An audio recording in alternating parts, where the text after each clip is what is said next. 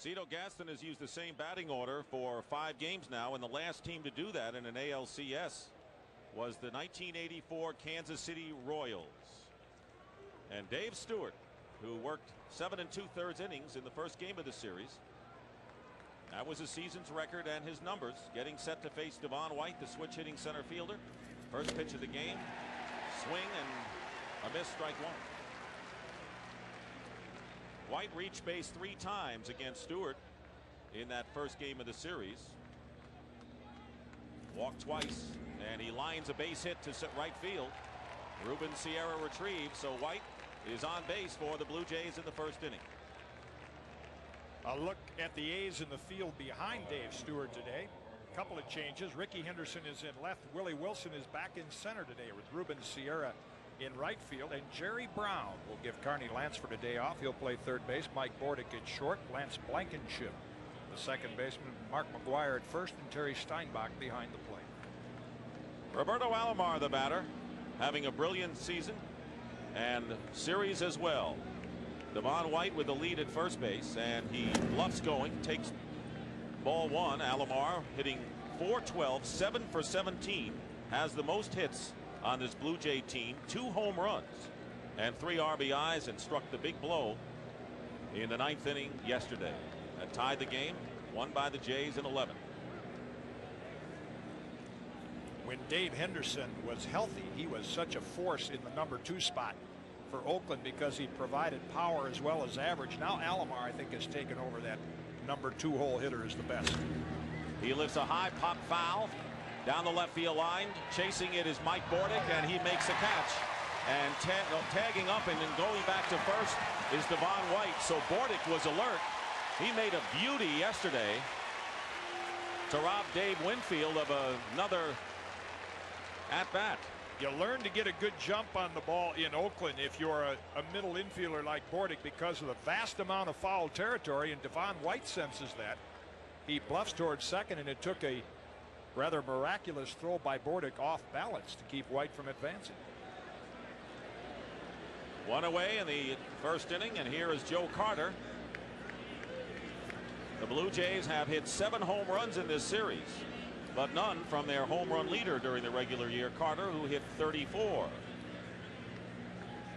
Stewart has to pay attention to the White, who had 37 stolen bases in 41 tries this season, a great percentage.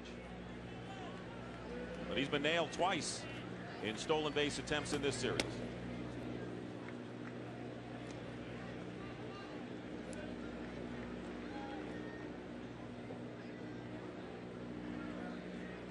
There's the menacing death stare, the trademark of Dave Stewart.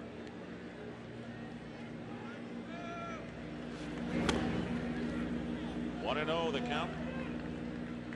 Stu says the only player that can match that death stare is Dave Winfield.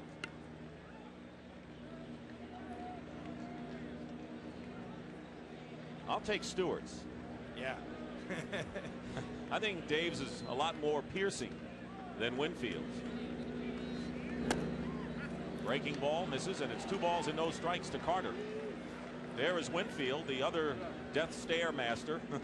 he smiles. See, he smiles too much. He's having a good time. Not that Stewart isn't, but on the day he pitches, you don't see much change in that expression.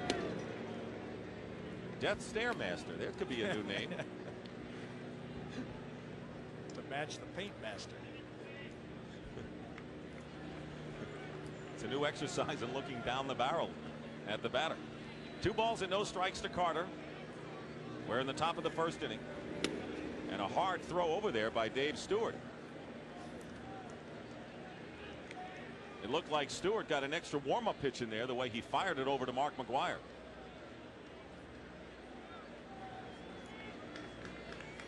People still buzzing over yesterday's fantastic game.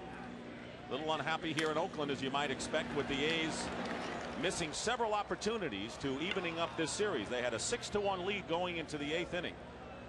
And uh, Tony LaRussa before the game telling us of the multitude of opportunities that the A's had to win it even earlier.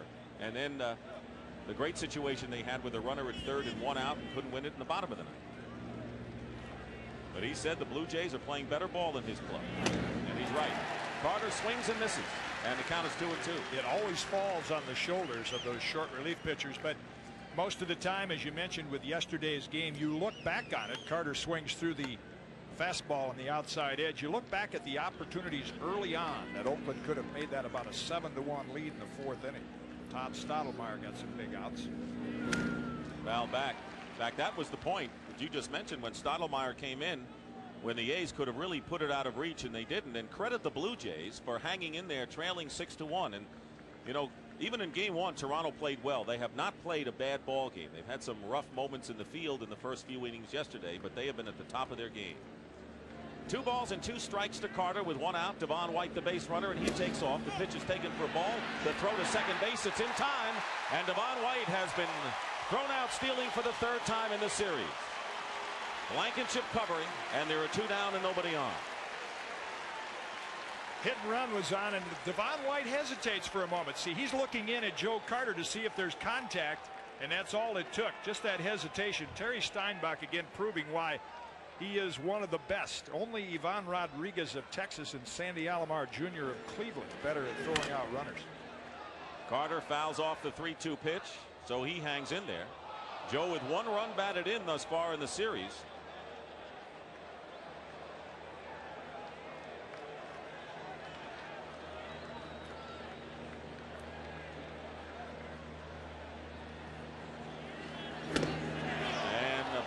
Pitch taken inside ball four and Carter's on. That is the first walk by Stewart who walked three in his seven and two thirds stint in game number one. So we get stare to stare here then with Stewart and Winfield. Winfield had good success in game number one against Stewart with a home run and a double. In fact, it was his double to right center field that primed Tony LaRussa to take Stewart out of the ball game and bring in Jeff Russell. So here is Winfield, who's hitting 235, 4 for 17 on the series. Part of the base runner and the first pitch is inside ball one. Here are the umpires. Joe Brinkman behind the plate. Drew Coble at first. Don Denkinger at second. Larry Young at third. And down the lines Al Clark and Durwood Merrill.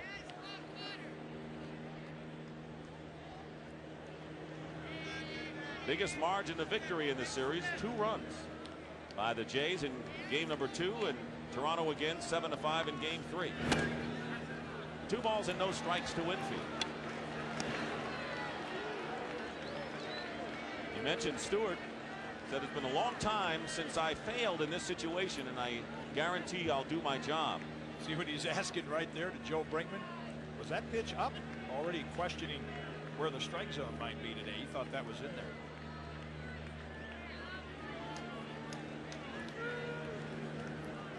Winfield looking for a good pitch to hit, and the pitch is taken for a strike two and one. Yesterday, the A's were hoping to get five or six innings from Bob Welch. They got seven plus.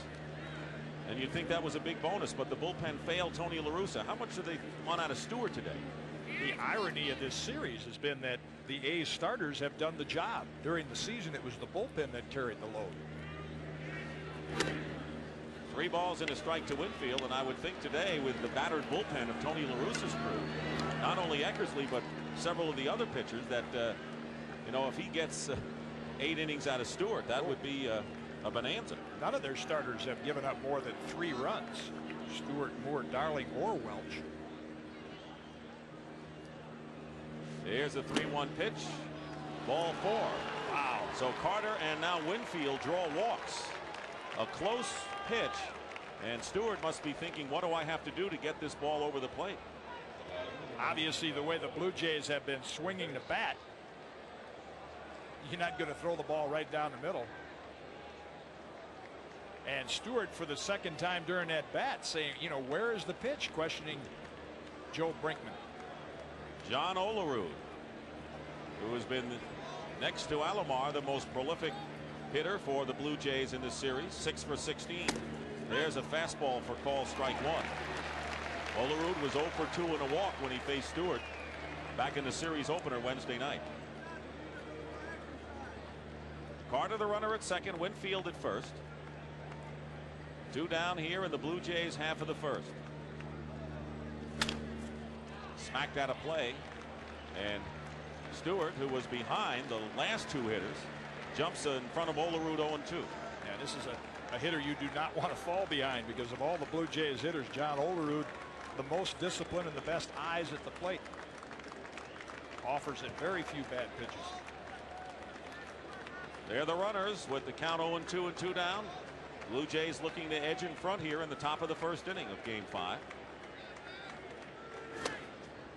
Ball and two strikes to Olerud.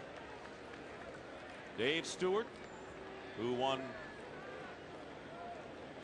this year a record 12 wins. He was 11 and 11 the year before, but his five victories in LCS play is a record. Two and two, and now Stewart seems to be nibbling with Olerud. He has thrown 21 pitches already. It's a characteristic of Dave Stewart. Those that have seen him pitch before, he will tend to struggle in the first couple of innings. He gets by those, a lot like Welch yesterday. Begins to cruise.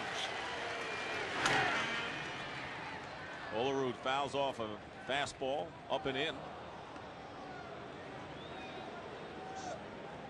Count remains two balls and two strikes.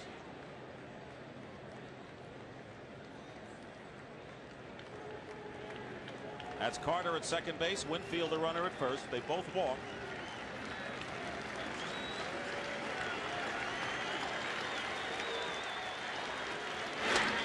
And he went around strike three. So Olerud strikes out and the Blue Jays lead two. So Toronto does not score and Oakland coming to bat in the first. The A's batting order Rickey Henderson is in left field. Jerry Browne will be at third base as Carney Lansford gets a rest today. Ruben Sierra will be in right field and Harold Baines the DH. Mark McGwire at first base. Terry Steinbach behind the plate. Willie Wilson back starting in center field. Mike Bordick again the shortstop and Lance Blankenship who had a fine game at second base batting ninth for the A's. And the Blue Jays you can stamp out that lineup every day. Maldonado in left.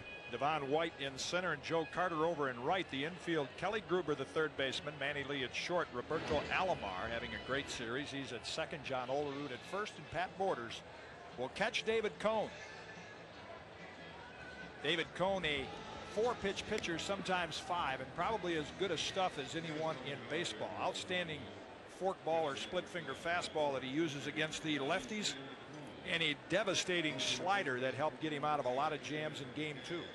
And he was masterful under pressure in game two with his team losing the first game of the series. When Morris loses, Cone comes out, and you can imagine the pressure, which he handled beautifully, working eight innings, giving up one run on five hits. Well, here's a fella, Rickey Henderson, who did not give David Cone much credit after the first game. He said, I'll get him next time. Well, this is next time, and Henderson, who was fooled as many of the A's hitters were with some swings that normally you don't see off of the slider in particular will have his opportunity now against David Cone. Henderson started the series 0 for 6 but has four hits and a walk in his last nine trips to the plate. And a breaking ball misses 1 0. That will be the key to Oakland's success today against David Cone is to try to lay off that slider low and away. That's easy to say, a little tougher to do. Missed a good fastball by Cone, and the count is one and one, and it did not get lost on Cone. Henderson's remarks. He mentioned to me in the dugout when we got out here, he says, I didn't forget what Henderson said, and he says, you know, they didn't see my entire arsenal. They didn't see a lot of the split finger or forkball, and maybe he'll be throwing more of that today. One ball and one strike to Henderson. Two and one. That's the beauty of having those four or five pitches. Good break of ball, occasional change is that in that game, too, he did not have a good forkball. And he may have one today and give Oakland an entirely different look. Five and three in his career with three days rest, but a good earned run average at 2.22. Falls behind Henderson three and one. Henderson was 0 for 4 and struck out twice against Cone in the opening or the second game of the series.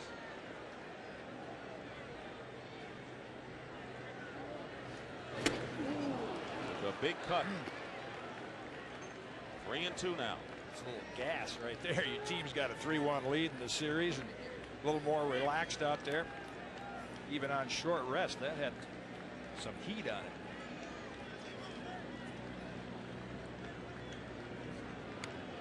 Cone was four and three with the Blue Jays after winning 13 and losing seven with the Mets. And a fly ball to center field. Devon White in shallow center makes the catch. And there's one away right now. Let's check in with Lesley Visser. Lesley? Dick, Eric Fox admitted that he made a devastating mistake yesterday when he charged for home and was nailed at the plate with the game on the line. He told me this morning that Tony La Russa pulled him aside in the clubhouse and said he wasn't as furious with him today as he was last night. But Fox, a 29-year-old rookie, would love to redeem himself. Dick? And to his credit, Lesley, he stayed in there and answered all the questions, as did Dennis Eckersley after that crushing defeat yesterday. No hiding. Here is Jerry Browne. I think that's a good trait of most major league players today. They have learned to deal with the media and they don't run to the training room and hide, but they're there to to answer.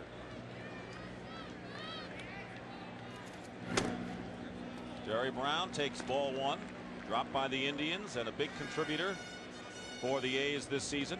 He started in center field yesterday, playing third base today. It's the part of the versatile aspects of this ball club.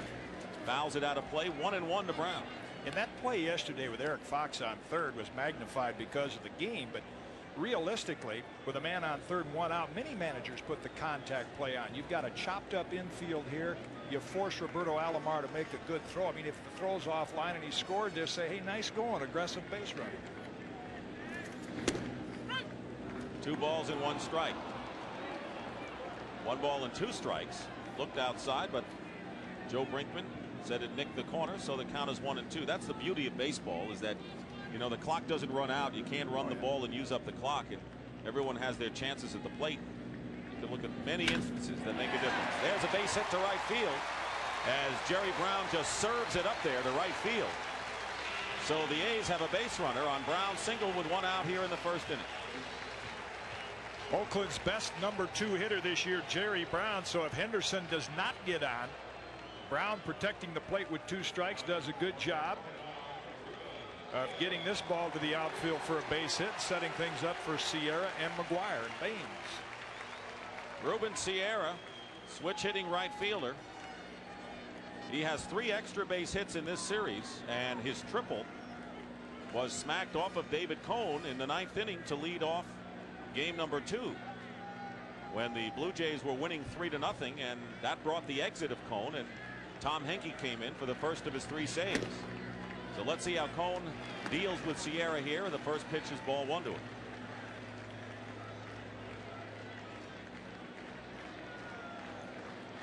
Outfield is straight away for Ruben Sierra.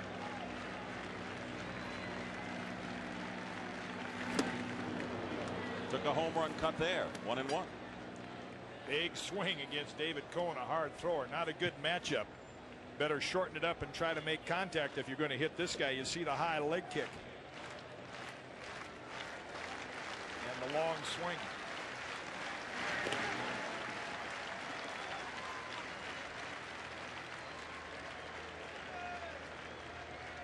Browne had only three stolen bases during the regular year.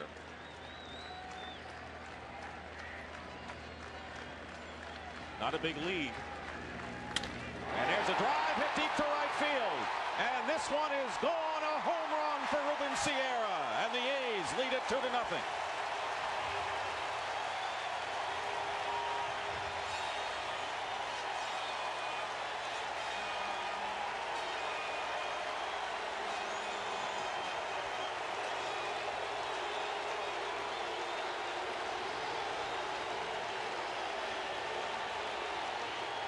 Ruben Sierra has struck a home run with Jerry Brown aboard here in the first inning to give the A's a two to nothing lead over the Blue Jays and David Cone. Well, he did quicken it up. And Ruben Sierra proving, wanting to prove that he can perform in postseason play, gives his Roberto Alomar impersonation, as Robbie did yesterday. Everybody scoring touchdowns.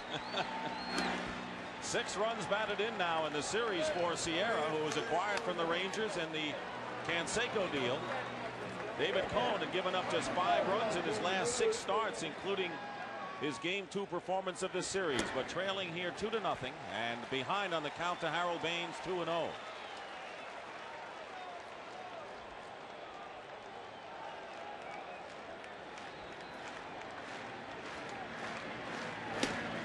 On the corner for a strike, two balls and one strike. One thing about this series, it has been impossible to figure in advance. Say both teams have the great bullpens, particularly Eckersley. And you can go right down the line to see where everything hasn't worked out the way the pundits said it would. Thought that those bullpen figures would be key in winning games, but not losing games. Last year's American League Championship Series, it was thought that Toronto's bullpen stronger than Minnesota's. Minnesota outpitched it. This year, Toronto has outpitched the Oakland bullpen. 2-2 pitch.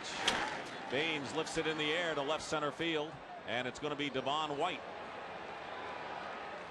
And that's the second out. Let's see the pitching sequence to Sierra.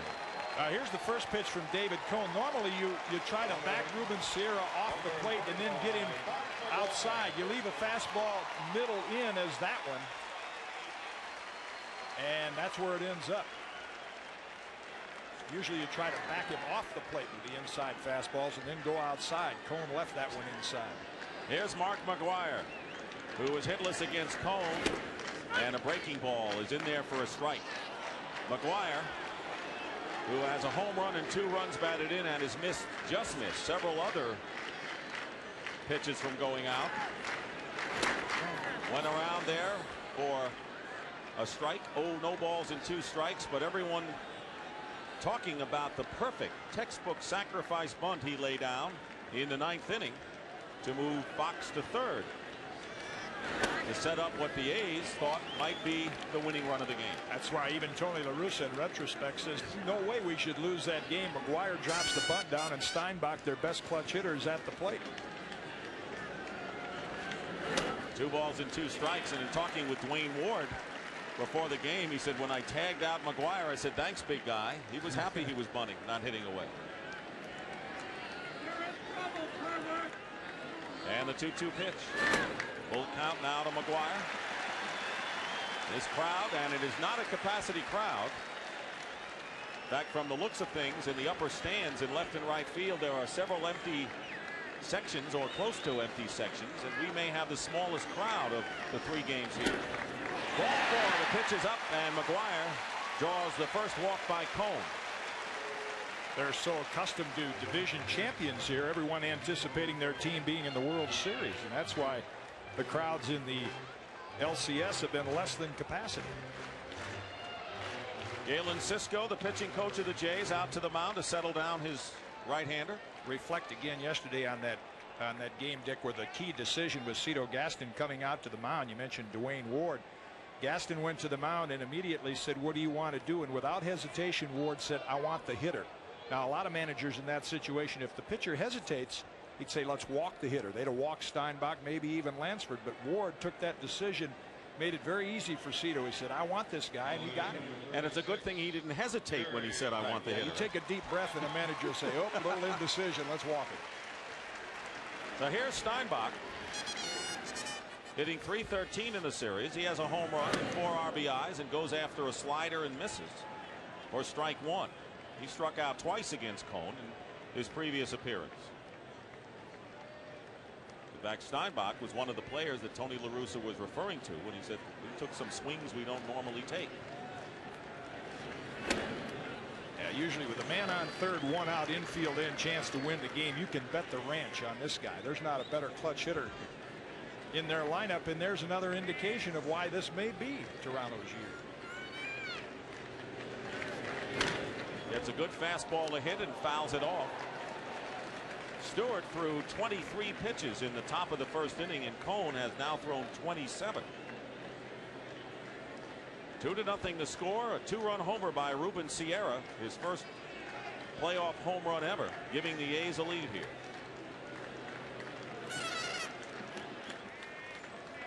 McGwire the runner at first base and he's called out on strikes on a fastball and Steinbach has struck out for the third time in the series against David Cone but a two-run homer by Ruben Sierra has given the A's a lead after one. Two to nothing after one inning of play. And when Ruben Sierra took the field, he got this ovation from the fans. He's been a favorite here. Right fielder that played out there before him always got a reaction too when he ran out there. Jose Canseco. Candy Maldonado in the second inning against Dave Stewart takes a call strike. Maldonado struck out twice against Stewart's offerings in game number one. Candy has a home run and three RBIs, and it was game three where Maldonado did most of his damage.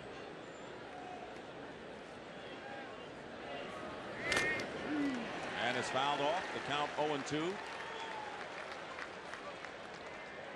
Sierra was traded for Jose Canseco, had been a big favorite here. Maybe not so much in the clubhouse, but certainly with the fans. And counting 89 and 90 in the LCS, Canseco had a combined total of only four RBIs, and Ruben has six already in this one. He is playing with a passion since getting that Oakland uniform like I never saw in Texas. Running harder, playing better in the field. He's made a couple outstanding catches. Game one. One and two the count to Maldonado. In the air to center field and Wilson has room in right center. Glasses down. And that's the first out in inning number two. I used to play with Wilbur Wood. He could pitch every day, play catch every day, pitch back-to-back -back games and set major league history. You ought to call Jim and uh, give him your suggestion. No, I think Mr. Leyland's very capable of making his own. we uh, Wilbur, of course, started a doubleheader one day, but knuckleballers can do that.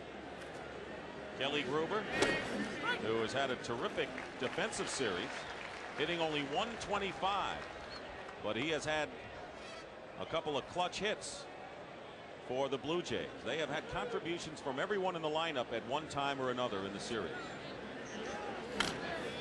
Fouls off the 1-1 delivery. Right. Nice play. Right behind the plate. Bring your glove to the ballpark. Pays off. Is this where we were supposed to say sign him up? or Rex Barney. Give that man a contract. Rex Barney, the former big league pitcher, now the public address announcer for the Baltimore Orioles. Here's the 1 2 to Gruber. And it evens the count. Kelly Gruber with the cork. Boy, yesterday that got pretty smudged, and it looked like he had been in some fierce battles by the end of that game. Here's the 2 2 pitch. And a fly ball foul down the line. Henderson will chase it, but it lands in the first row behind the A's bullpen. Henderson aggravated a left knee in yesterday's game, and they said they would take a long look at it afterwards. But Barry Weinberg, the trainer, reported that everything is a-OK for him. I think he'd have to be in very, very bad condition not to play in this game.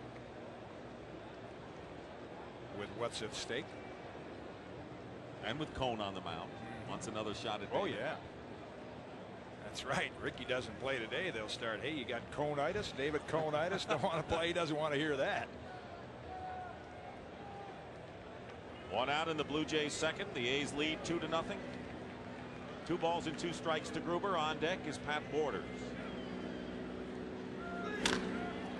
Drive to right field, but Sierra should handle this. He does. Two balls hit in the air where normally they hit it against Stewart. He doesn't get that many ground balls, and there are two down for Toronto. Pat Borders, the batter, four for 16. He has a home run, and he struck the blow off of Stewart. 0 1 the count to Borders.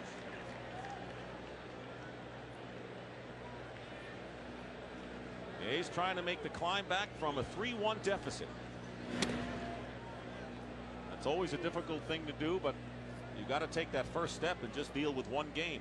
Break it into a 3 1 game playoff. You look at beating Cone, Guzman, and Morris a tough task. That's depressing. Just take it today's game first. Count now 2 and 1 to Borders. Managers, that old cliche, and everybody laughs at it day at a time. It's the only way you can take it. Yeah, there you See, go. I laughed at it. it's the only way you can look at this game. But you know, you're right.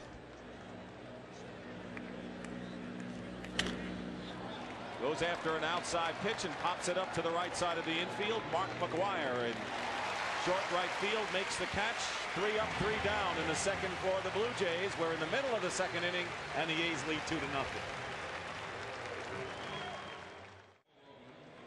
Two to nothing in favor of Oakland. Batting in the bottom of the second inning and the bottom third of the batting order facing David Cone, Willie Wilson, Mike Bordick, and Lance Blankenship. Wilson, the old pro, played virtually his entire career with the Royals, has had a good series.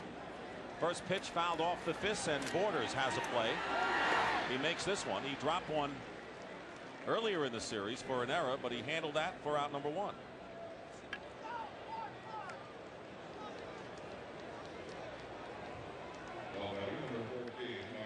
And here's Mike Bordick.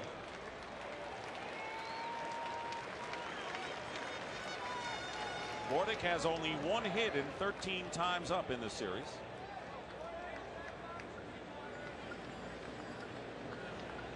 But with his scrappy play in the infield, he's had to be a fixture for the A's in the series, and during the season was their leading hitter, hitting an even 300. Count is 0-1. Made a great play yesterday in foul territory with Winfield at bat at a critical time of the ball game, banging off the scoreboard down there, the billboard. And he runs up to bunt and takes strike two. And of course, he made a play not as spectacular to start this game. So he's a big play infielder for Tony La Russa. So he made the roster really as a good fielding infielder. His hitting just came around this year. And one of the few durable A's this year. He played in more games than any other Oakland player. Fly ball hit to shallow right center field. Carter looks at Devon White who makes the catch. And there are two down quickly here in the A's second inning. And in a season in where in which the disabled list was used 22 times by Tony La Russa, it was good to have a Mike Bordick who played in as many as 154 games, where in the old days that would have been the entire season. You look at championship teams, and most of them have durable shortstops and good shortstops. Manny Lee's had a great year for Toronto. Two down to Lance Blankenship. Three for seven in this series. Done pretty well at the plate. Takes ball one. Blankenship started the series at second base. Then was out of the starting lineup when Walt Weiss was the shortstop and Bordick played second in games two and three and Blankenship has been back in there the past two days.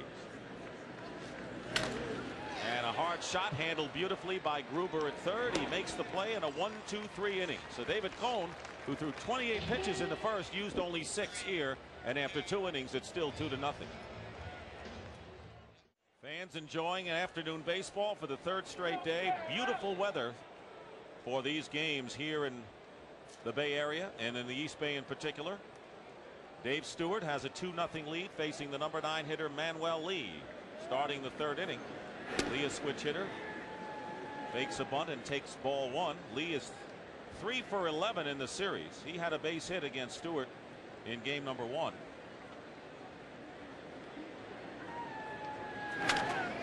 Line drive foul ball into the crowd.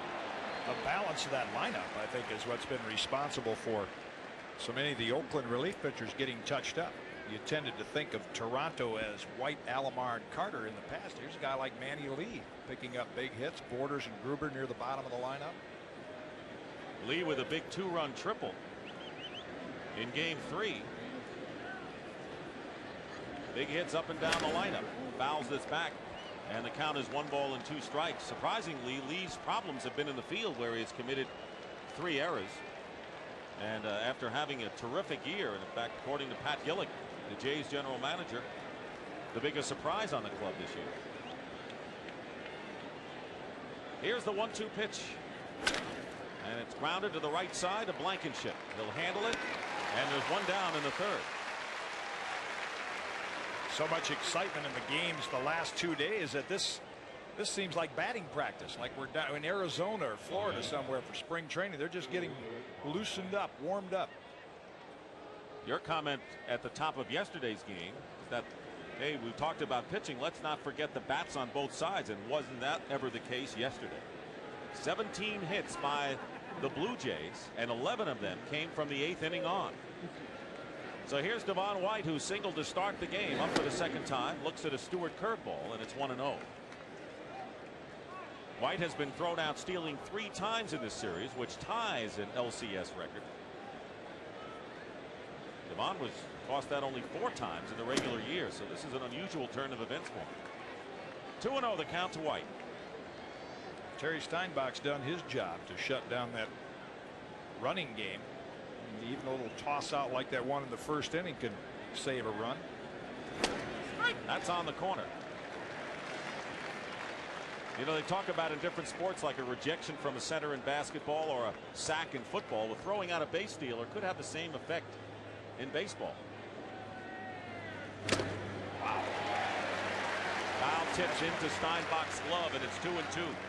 May have seen Dave Stewart doing this a few times. You see him take the sign from Terry Steinbach, and then there is a change in signal. Oftentimes, the pitcher will wipe down once or twice. That will change the location or the pitch. Stewart wanted that one.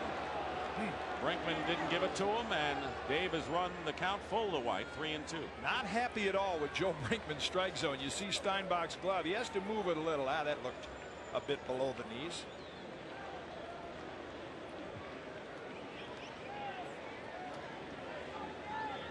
Here's the 3 2 to White. Fly ball, foul territory again. Browne and Bordick giving chase, and this will land in foul territory, unplayable.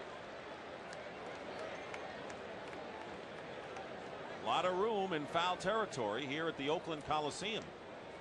As much as any park in Major League Baseball. And a guy like Jerry Browne coming from Texas and Cleveland immediately you you have to pay attention to that because in most ballparks your reaction is oh that's in the seats but not in Oakland. You have to get a jump and take off after all of them.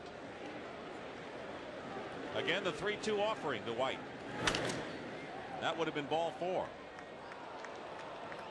And White knows it.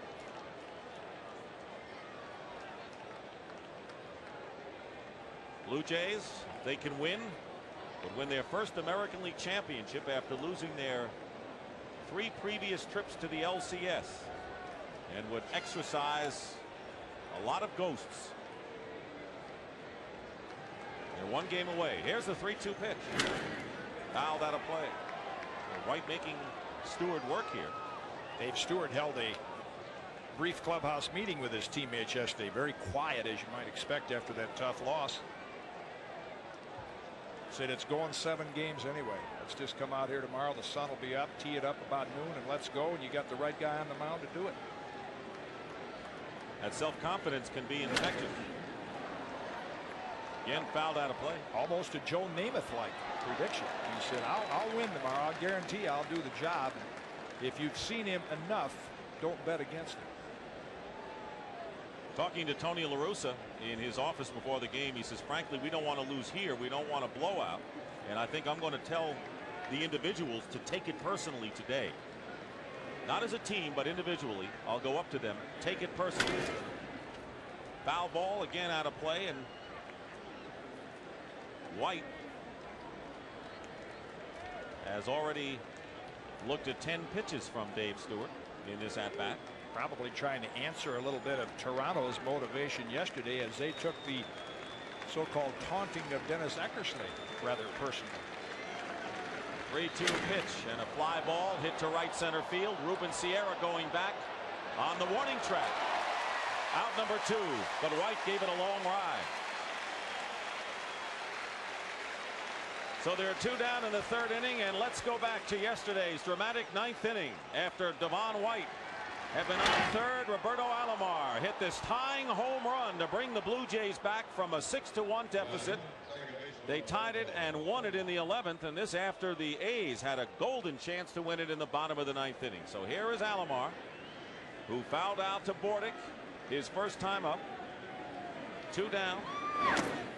Showed bunt and takes ball one. They pitched him in, out, curveballs, high fastballs. Just as well roll it down and let him toss it up and hit it. That's a strike. Used to do that with Rico Carty. No need to get ahead of him. 0 and 2. He's going to hit it hard. You go down off the mound, say, Here, Rico, toss it up and hit it. Hit it where you want to, and let's get it over. One ball and two strikes as Stewart spots it on the outside corner. Stewart seems to be in command of his pitches thus far and a quicker tempo and rhythm than we're accustomed to seeing him. Smash up the middle and a base hit for Alomar. You're never out of the woods with Roberto, no matter what the count is. And a two out single by Alomar, his eighth hit of the series. And the Jays have a runner on. Ball's got to look like a beach ball coming out of Dave Stewart's hands. Although that not a pitcher's pitch with a count of one ball and two strikes, you can see again it too much of the plate. Steinbach has to reach back toward the inner half. And when you're in a groove like Alomar, any slight mistake on the pitcher's part, he'll capitalize on. Always has a good time playing this game. As Cito Gaston is the game. Could a game of baseball be easy for anyone? He says, I think that if it's easy for anyone, it is easy for Roberto Alomar. Wasn't easy for me, he said. he said, I was always angry. Never had a smile on my face because the game was tough. Easy for a talented player like Robbie. Joe Carter walked his first time up. Breaking ball misses 1 and 0. In fact, Stewart walked both Carter and Winfield before striking out Olerud to end the first inning.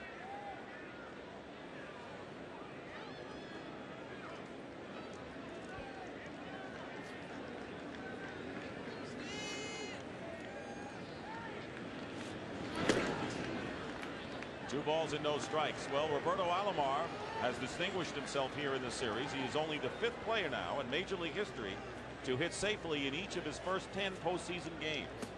And I have a hunch that won't be the last mark that Alomar puts on postseason baseball.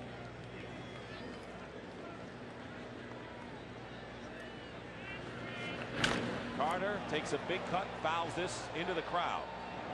I know that's a trade that helped both clubs with Tony Fernandez and Fred McGriff going to San Diego, and they've got a great lineup. But I, when I watch Roberto Alomar play every day, I still scratch my head and say, how in the world could you trade a player of that talent at that critical position? Trade him away. I don't care who you could get. That's like the Red Sox and that rumored Clemens deal. There's some no guys way, you just don't trade. And I would have thought he'd be one of them for San Diego. Guarantee you Toronto won't deal him away very quickly. If ever and they have the money to pay him. Two and one to Carter.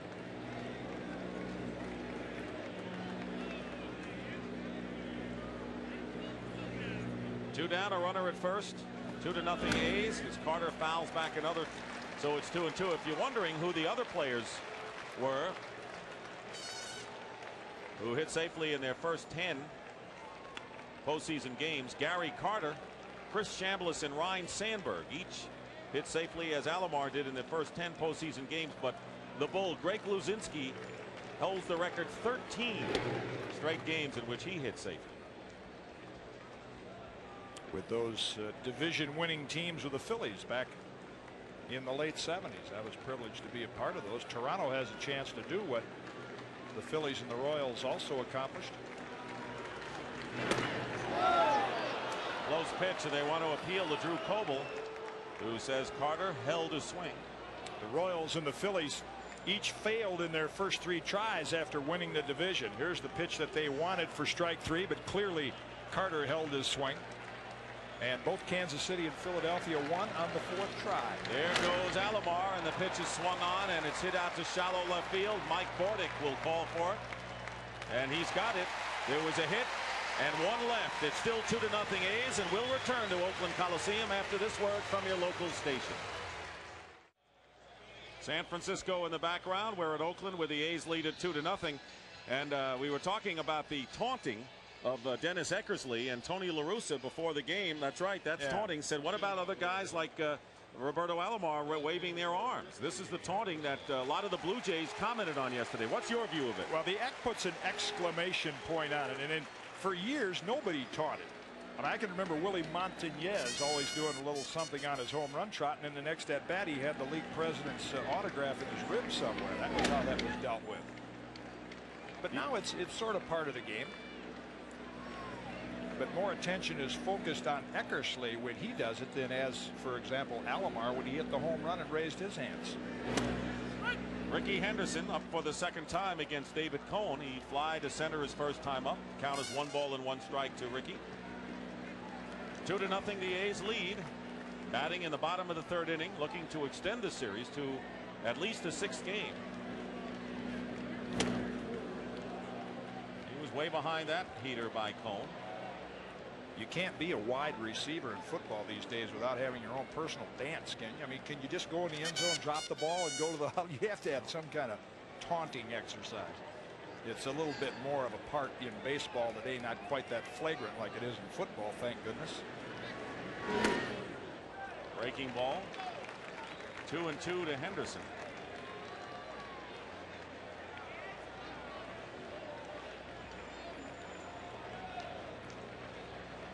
Rickey reached base four times in yesterday's game. Reaches out and fouls it off. Trying to get a beat on David Cone's slider, which has been the most effective pitch against him. You can see what the right hand hitters are trying to do, and Rickey having a little chat with himself with two strikes. Just try to serve it out to right field, as he did on that foul ball. Henderson, Browne, and Sierra, the top of the order here in the third inning.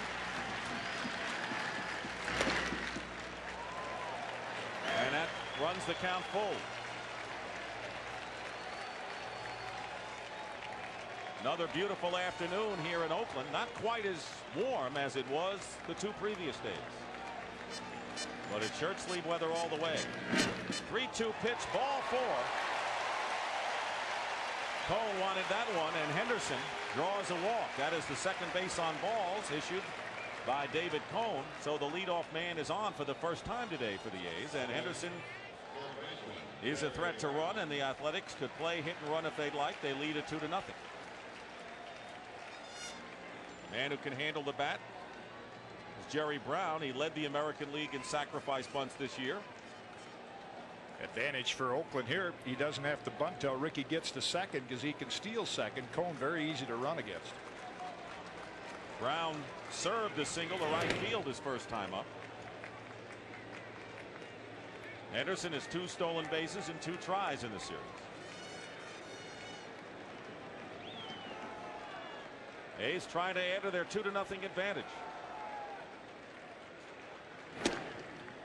That's a fastball away 1 0.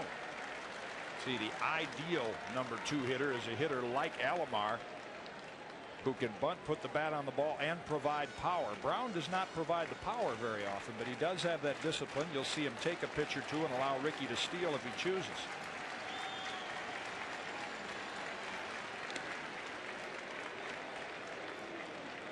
In his postseason career Henderson has been successful on 22 of 25 tries. Borders out to the mound. Probably saying hey he's going to run and he's going to steal anyway. Don't worry about him. If with your stuff if we get three hitters out we won't worry about it. But all the focus directed toward Rickey end up making a bad pitch to Browne. Cone said he before the series started he was going to try to work faster to the hitters and had studied videotape a lot of Todd Stottlemyre similar styles.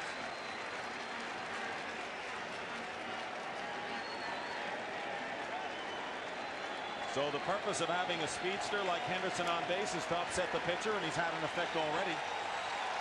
One ball and no strikes to Jerry Browne. Widening the lead is Henderson. He does not go and the pitch is taken for ball two as Borders was primed to throw the ball.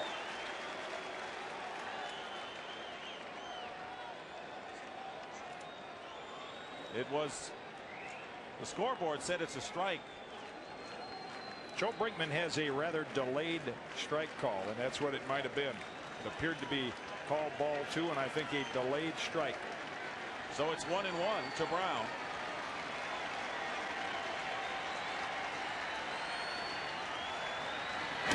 And there was the pitch out, snap throw to first, but Henderson gets back. Opponents have stolen more bases on David Cone this year than on any other major league pitcher.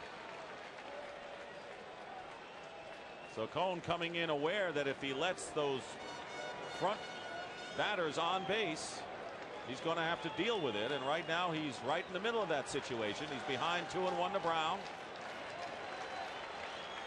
Henderson is a threat going over and almost out on that play. That was very close at first. Just a little quicker tag. You can see Rickey bluff right there in the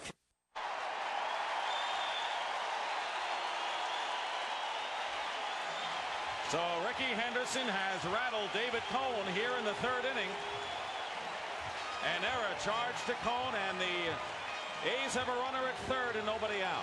The late Woody Hayes theory, just like the forward pass, three things happen. Two of them are bad. When you throw to first base, you pick them off, you balk, or you throw it away. You don't often pick a runner off, especially like Rickey Henderson. Now, you give the A's a triple by paying all that attention to. That's the disruptive factor. Guys like Henderson. Six errors committed by the Blue Jays in this series. Runner at third base, and Toronto brings the infield in with the count two and one to Jerry Browne. And there's a base hit. Henderson scores, and it's three to nothing Oakland.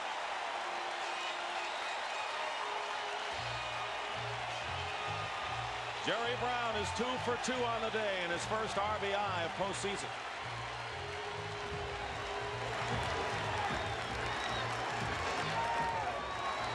Ruben Sierra coming up to hit, and here's what he did last time.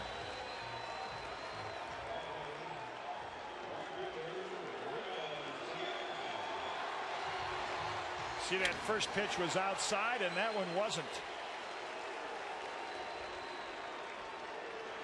Sierra with six runs batted in in a series. Takes a breaking ball for a strike 0 1. Still nobody out. Henderson walked and after several throws over including one that nearly nicked Rickey. A throwing error by David Cone. Henderson went to third and Jerry Browne promptly knocked him in with a base hit. And the A's lead it three to nothing.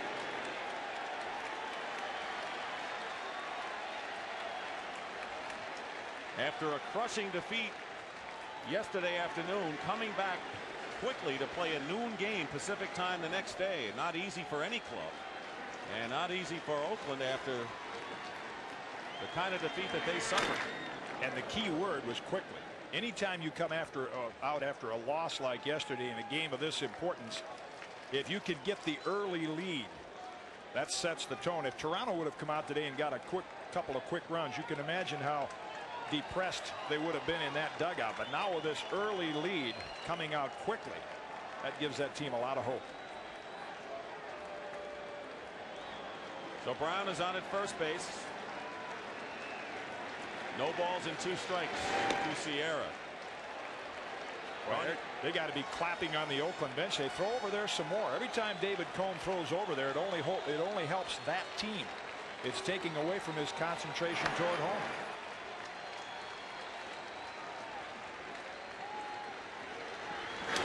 And the ball is thrown back.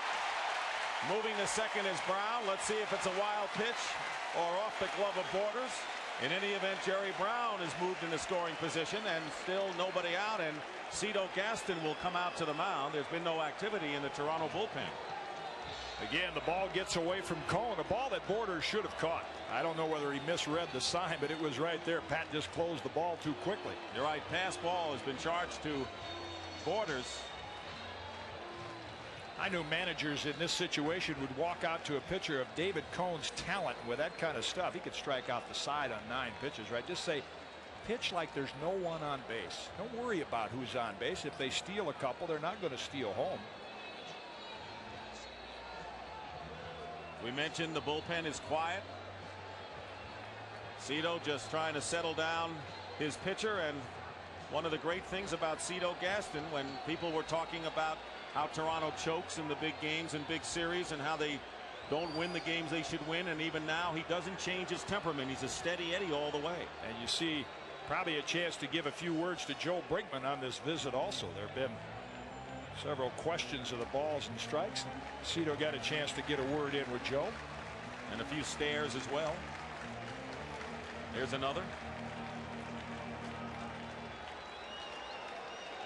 The count to Ruben Sierra is one ball and two strikes and the A's leading three to nothing have another runner in scoring position. Lee trying to sneak behind Browne to keep him close. Two balls and two strikes. There's Lee and the A's Jerry Browne at second.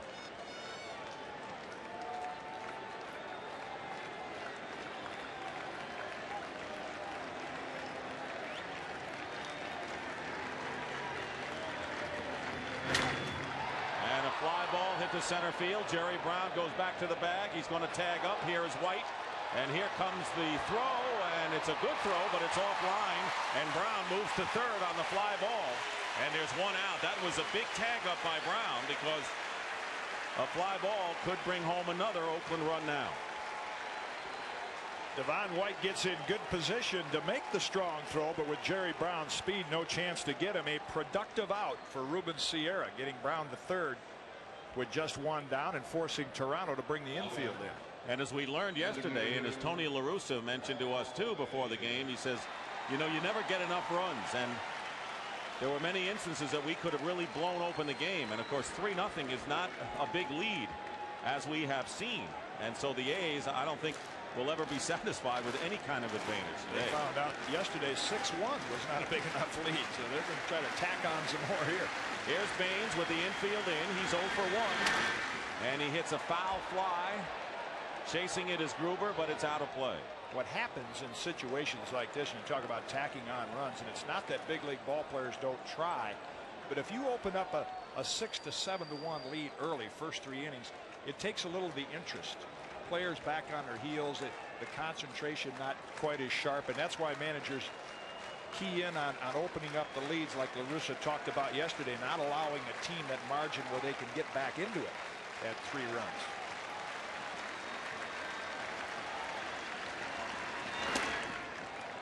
Low one ball and one strike. In fact, yesterday in that five run inning for the A's in the third inning when they batted around Mike Bordick who started it all with a single ended up by hitting into an inning ending double play with the bases loaded. So there was another opportunity for the A's to cash in. Two and one now. And now it's a strike. One ball and two strikes.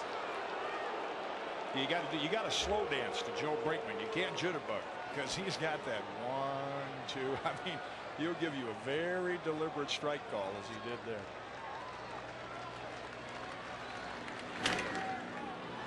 And a pop foul that will now go out of play as well.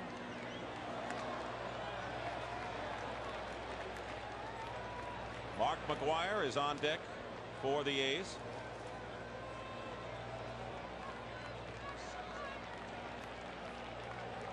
Sizing up Cone in the on deck circle. This has been a standard operating procedure for the A's slugger in this series.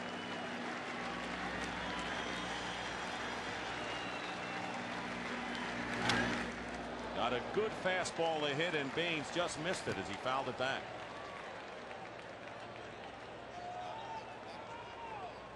That is not uh, Mark McGwire. he did not go from the on deck circle into the upper deck with a glove to say hello to the fans. Well, he's, got is... some, he's got some brothers that big. Maybe that fellow wants to pinch hit. One ball and two strikes. Two and two.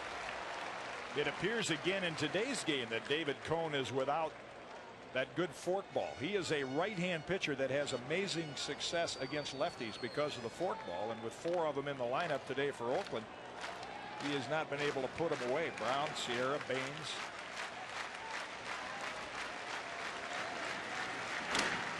And he strikes out. It was foul tipped into Borders' glove, and Baines went after a high fastball. So he misses a chances to get a run home there and strikes out for out number two. Just outs right here as he gets it on the high fastball that keep David Cone and the Blue Jays in the game. Opportunities like this that Oakland squandered yesterday, even though the heat was on Eckersley. It's innings like this that cost him a chance to put it away. We'll see if Jerry Browne's alert play to go to third after the fly ball is wasted here. Mark McGwire, who walked his first time up, takes strike one now it'll take a base hit or an error or a wild pitcher pass ball to get Jerry Browne home. One run already in for the A's here in the bottom of the third inning. They lead the Blue Jays three to nothing. And off the glove of Borders, but Browne at third did not have much of a lead, and he wasn't ready to run. If he had been going, he would have he could have scored easily. Lesley uh, did a little thing on Pat Borders' glove. That's a favor to his. Yeah, I think he might want to trade that thing. He's having a little trouble catching the ball in that old glove that's been a favorite. That's two of them now that have gotten away. May need a new one.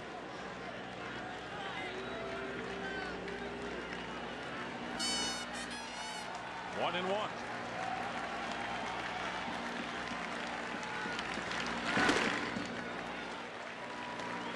Two balls and a strike to McGwire who went 0 for 4 the first time he faced David Cone in game two.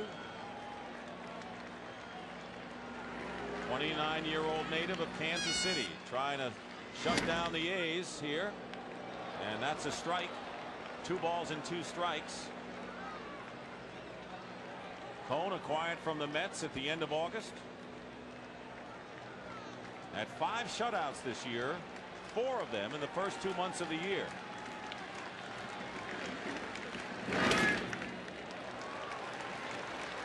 Full count, three and two. Talking about all the young outfielders that Toronto has traded away. There's another one, Ryan Thompson, to get David Cone. And Jeff Kent, the infielder. And David Cone bears down and strikes out Baines and McGwire with a runner at third. And the A's see another chance go down the drain. They get a run, and after three, they lead it three to nothing. Ruben Sierra's two-run homer in the first gave the A's the lead. If you're keeping track of Dave Stewart's pitches, he's at 62. He's allowed only two hits, and Jerry Browne made it three to nothing with a single in the third inning, but he was stranded at third as Cone struck out Baines and McGwire to end that threat. So the totals after three, 3 3 and 0 for Oakland, 0 2 and 1 for Toronto. The run was unearned, by the way, in the third inning. And as we move to the fourth, it'll be Winfield, Olerud, and Maldonado against Dave Stewart. Winfield drew a walk.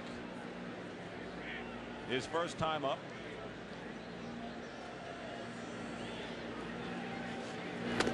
Ball one. Stewart has had 11 starts since elbow problems put him on the disabled list. In fact, he really had an injury free career until the past two years, and he has been on the DL twice in the past two seasons.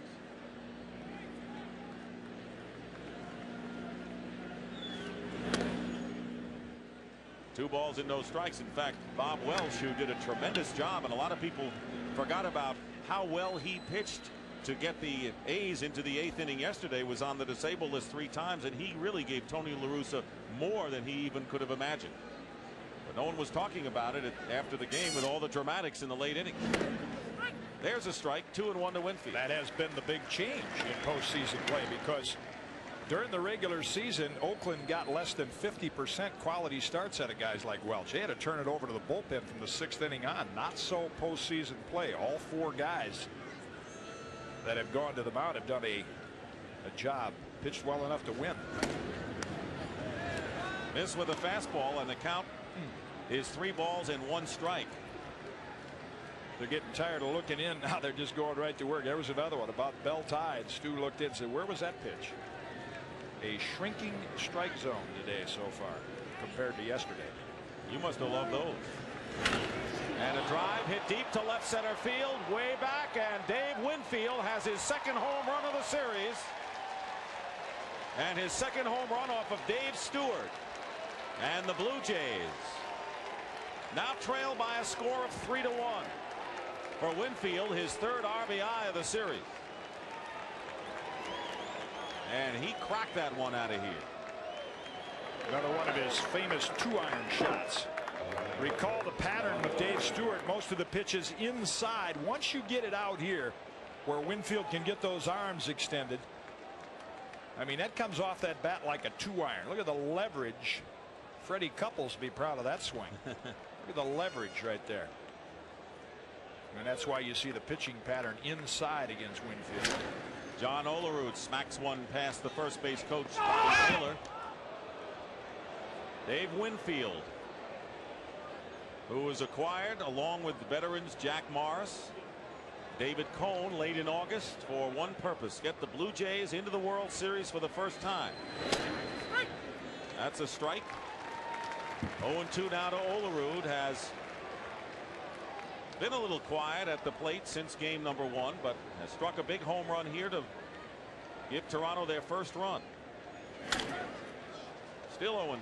He's quiet even when he's noisy. Such a quiet young man. You talk about Winfield's presence, and over in the National League, Sid Bream and Terry Pendleton as free agents have meant so much to that Atlanta team. That's unusual for guys coming over as free agents, and the same can be said of Dave Winfield and Jack Morris for Toronto. Fastball on the inside corner, and Olerud goes down for the second time, this time looking, and there's one out. Let's take a look at the way Stewart pitched to Winfield inside. Doesn't want to get it over the plate. Another one inside. Now it's 2 0.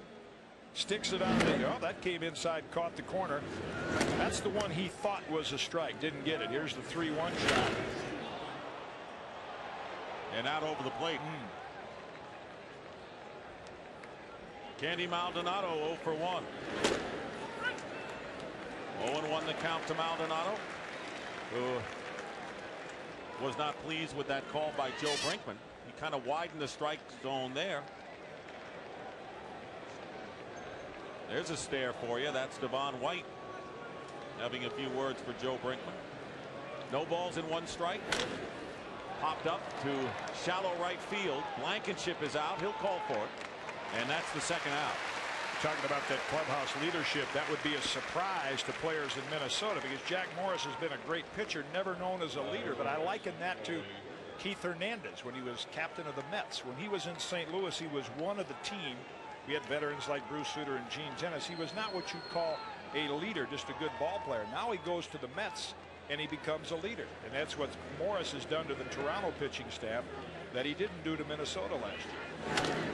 Kelly Gruber on the first pitch pops it up foul territory. Steinbach and Browne. It's Browne and that will retire the side but a leadoff home run by Dave Winfield and now the A's lead has been cut to three to one. For these three games here at the Oakland Coliseum and a great sky for the blimp to be up there and we're enjoying these great shots thanks to the Bud One airship. You can't find a cloud up there. I've been looking. Four days I haven't seen one. Outfielders wish there were a few.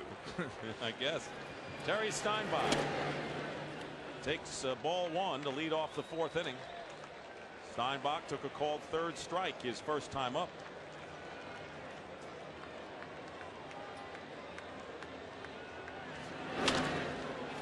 Popped up and a play. Now the Blue Jays, Gruber lost it, and Manny Lee makes the catch in fair territory for out number one. Right now, here's Lesley Visser.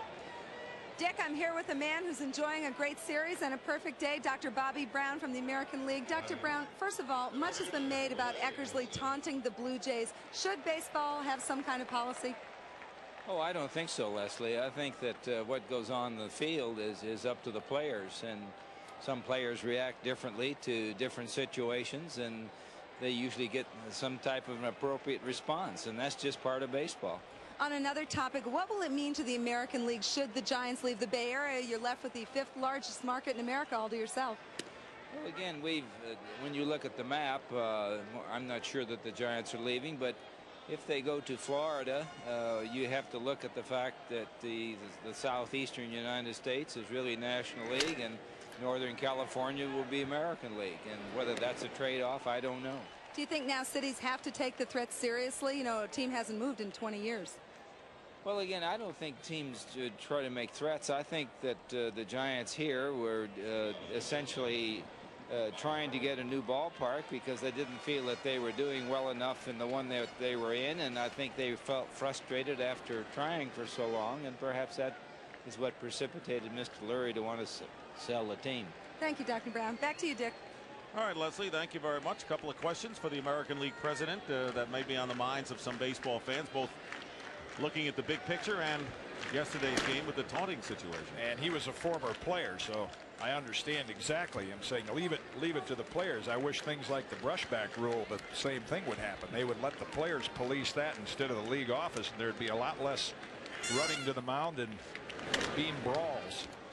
Mike Bordick hits a high pop-up. Wilson, you saw oh! bounce out to Alomar, and Alomar makes the catch in foul territory. So David Cone retires the A's in order here in the fourth inning. Pat Borders takes strike one to start the fifth inning. Borders popped out his first time up. Dave Stewart has allowed one run on three hits. He has walked two and also struck out a pair. There's a strike and it's 0 2 now to Borders. Good velocity by Stu. His last start before postseason play against Milwaukee. He said he felt the best he had all year and that's why Oakland felt very good about using Stewart to start game one.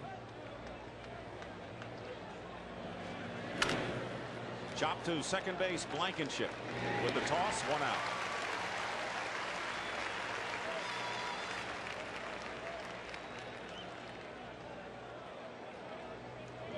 One of the rare times in history that teams with identical regular season records are meeting in postseason. It's never happened in the LCS. It's happened a few times in the World Series, but not many. Here's Manuel Lee. There's a breaking ball in for a strike. We mentioned that uh, most of the outs against Stewart are fly balls. He has retired two batters on ground balls, Borders on that last out, and Manny Lee, who's 0 for 1. Swings at a pitch out of the strike zone, and the count is two strikes. And this is more like the Dave Stewart. Yeah, he's got a few backers in the stands getting close to that date. Was he in the debates last night? I don't know. There's a couple names missing from that ballot, I think, but Bay Area fans want to vote for him. Again, in the early innings, he'll fall behind hitters, struggle a little bit. Now, in the fifth, you see a lot more 0-2, 1-2 counts, much better command of his pitches. One ball and two strikes to Manuel Lee, who had to fight off the efforts of phenom Eddie Zosky in spring training to win the shortstop job and has gone on to have his best season both at the plate particularly in the field.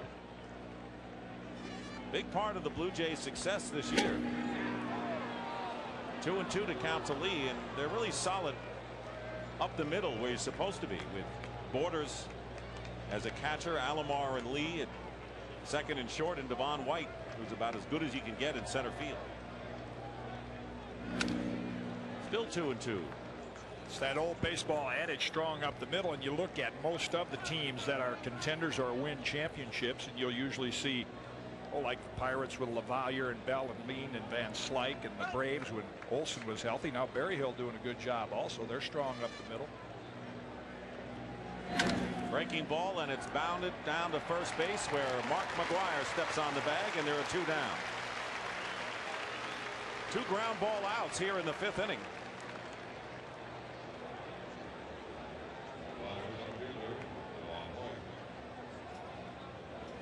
Well, uh, two good fans here today, and fellow on the left is having a great time with it. Oh, I'll tell you the fans that come to the games here at Oakland dress up with more like costumes and the pins and the different paraphernalia we see in the stands I think that any other ballpark. Three of the tickets that you gave away to fans Yes. yesterday were dressed like they came right out of the Wizard of Oz. you picked up on that. huh? Good seats too, huh? Third deck down the right field line. Devon White lines one down the right field line, and it should be extra bases. Sierra retrieving, and White going into second base with a stand-up double.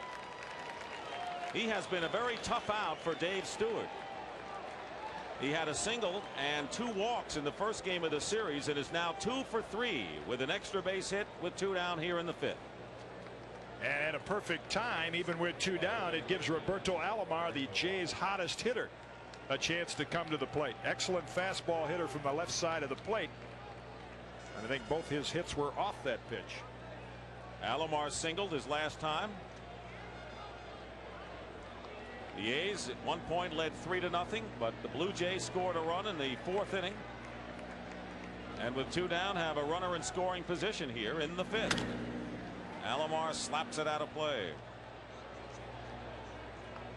Nothing new for Roberto Alomar to do well in postseason. Last year, he hit 474 and knocked in four runs in a losing cause against the Twins. Talk to managers around the American League, and when you ask them to size up the Blue Jays, usually they'll start by saying their best all-around player with great baseball instincts and intelligence, Roberto Alomar. And he has hit Dave Stewart pretty well as we had mentioned 6 for 14 against Stewart. That one missed. One and one to Roberto.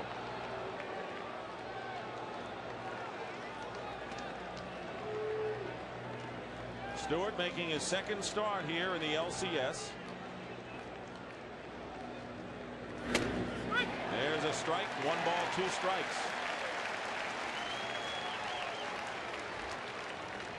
See what Alomar does now in a defensive posture with a count one and two. He's got Devon White in scoring position at second. Stewart had set down the first two batters here in the fifth inning. Protecting the plate and a fine defensive swing on a breaking ball low and inside stays alive. Most of the good hitters and especially good hitters who are in a hot streak like Alomar, they have the ability to take the pitcher's pitches like he did there and just nick them, foul them off, and then you make the slightest mistake, bingo. Important batter for Roberto Alomar in this game. Or Dave Stewart. He slaps it to the left side. Backhanded by Bordick to throw to first in time. Outstanding play by Mike Bordick, who snuffs out a Toronto threat. Watch the way Bordick plants the foot. Plants the foot to get the ball there in a hurry. Great play. Mike Bordick seated next to Walt Weiss, whose shortstop job he has taken during the championship series. Great play in the field despite not uh, hitting like he did during the regular season. Lance Blankenship taking a breaking ball for a strike. A's batting in the bottom of the fifth inning leading three to one. David Cone who was the winning pitcher in game two with a gutty performance.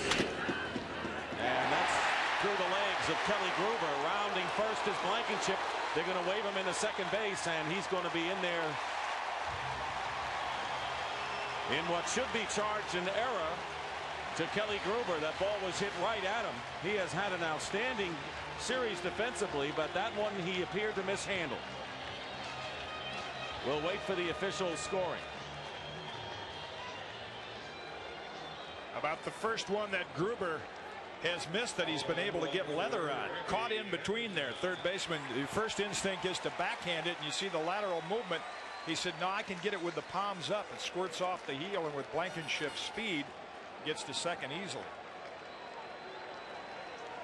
Kelly Gruber's error, and Blankenship is on at second. Nobody out, and Rickey Henderson trying to solve the deliveries of David Cone. Looks at the first pitch, ball one. Henderson has flied out and walked.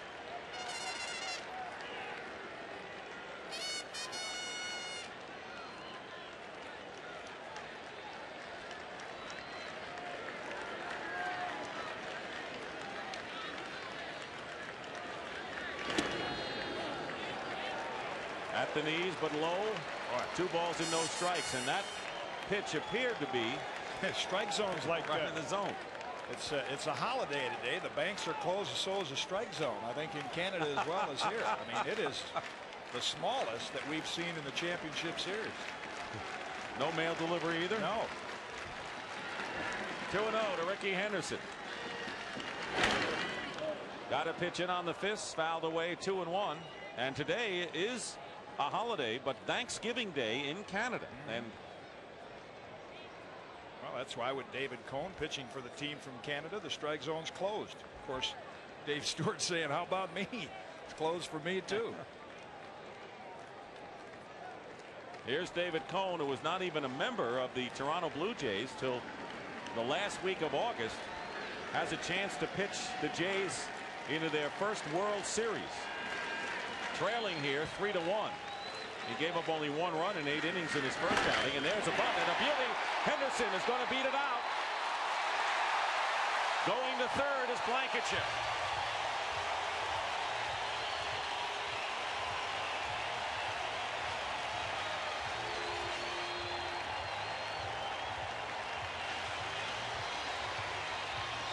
Runners at first and third. And nobody out.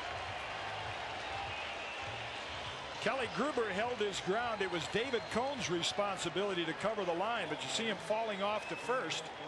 And by the time he gets there, just eat it. Nothing to do with it. Watch Gruber. Gruber playing deep right there. He's going back to the bag. No chance for Cone. Well timed and perfectly placed bunt. Three to one the score and the A's with runners at the corners and nobody out and Jerry Browne who has two hits and two trips and an RBI against Cone. Chance for the A's to add to their two run lead. Hits are four apiece in this game and the bullpen activity starts for Toronto as Cone very nearly throws this one away. Ball one to Browne. And there is Jimmy Key who has been up several times in this series but has yet to make his first appearance. A starter in the rotation all year. In fact, won five games in the final month of the year and then relegated to the bullpen.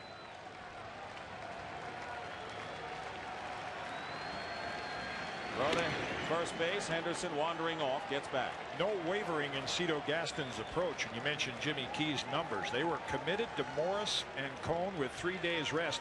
I thought with the 3-1 lead they'd be tempted to say let's push him back a day and start Jimmy Key.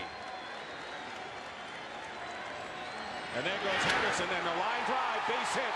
Henderson will go to third. Blankenship will score. The throw to third base not in time. The ball is thrown away. Henderson will come in and score another run. And headed for third base is Browne. And he's in there. Five to one in favor of the A's.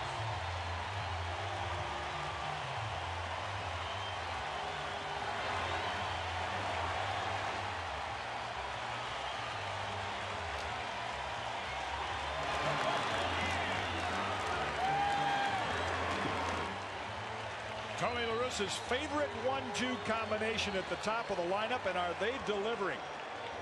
They said we're just waiting for Rickey to join the group, join the party, and he has created some runs today.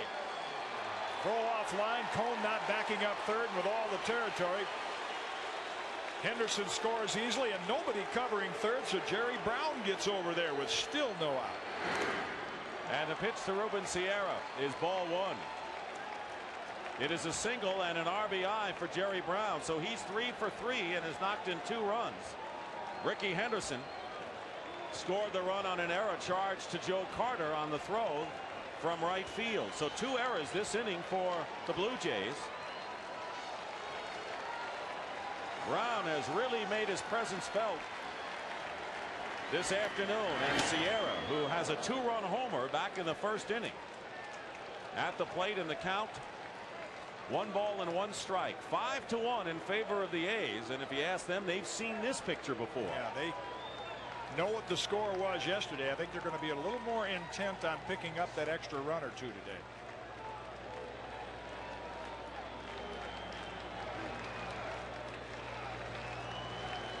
Jerry Browne at third.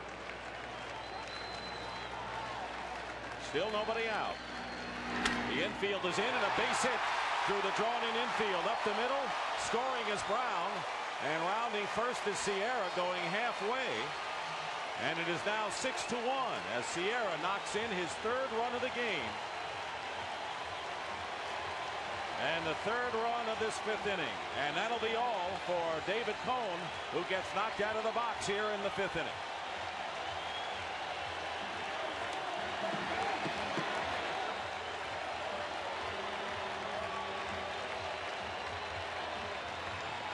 So it wasn't to be for David Cone today after his sizzling performance in game two. The A's lead at six to one and we'll be back.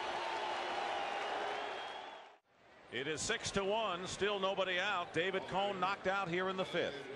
Everyone will say was it the three days rest that's so overstated. It's not the three days rest today. It's if you pitch with three days rest how you recover in the next start. So I don't think you can blame it on that.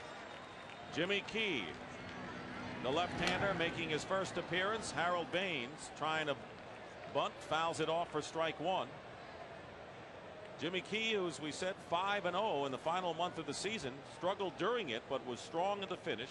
Had a 13 and 13 record this year, and second to Jack Morris on the club in innings pitched.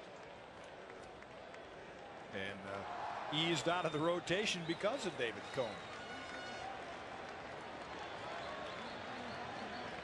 Ironically, now relieving Cone with the A's leading six to one, and that was the score yesterday that they had going into the eighth inning when Toronto staged their rally. Harold Baines is 0 for 2 on the day. The runner at first is Ruben Sierra with a homer and a single and three RBIs. Now seven runs driven in in the series.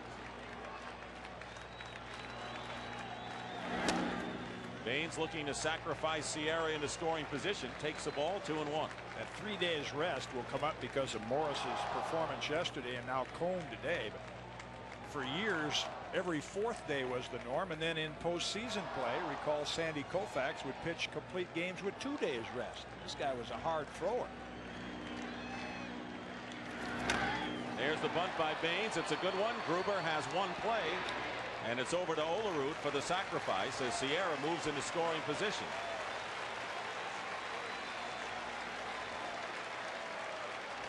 Seven. Interesting. You saw a glimpse of Jack Morris in the dugout.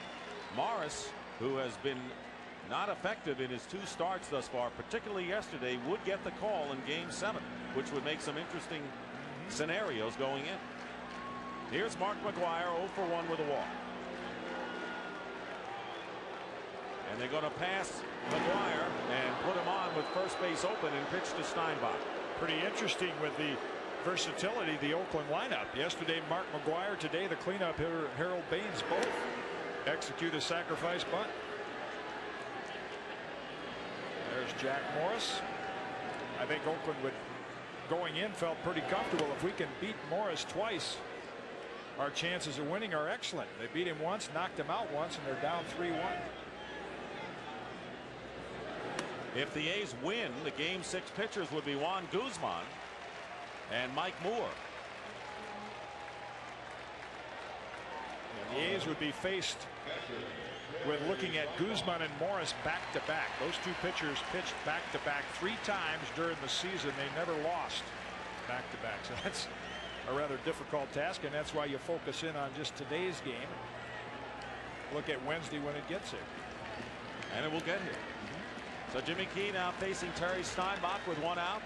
A's runners are at first and second. Three runs are in. It is a six to one ball game.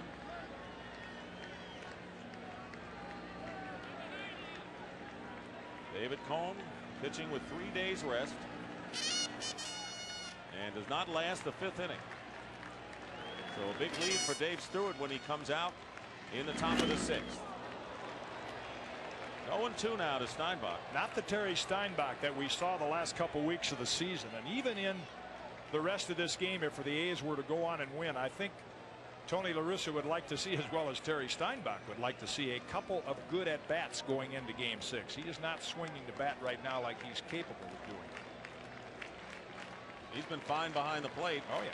He's pulling off a lot of pitches that are on the outside part. He never did that during the year.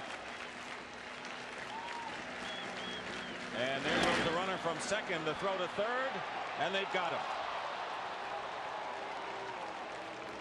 Ruben Sierra is thrown out trying to steal third for the second out of the inning. Tony La Russa likes to try to steal third. See Sierra's jump in the background and Borders gets a pretty good pitch to throw low and in and makes a nice accurate throw to Gruber and Sierra just slides in and tags himself out.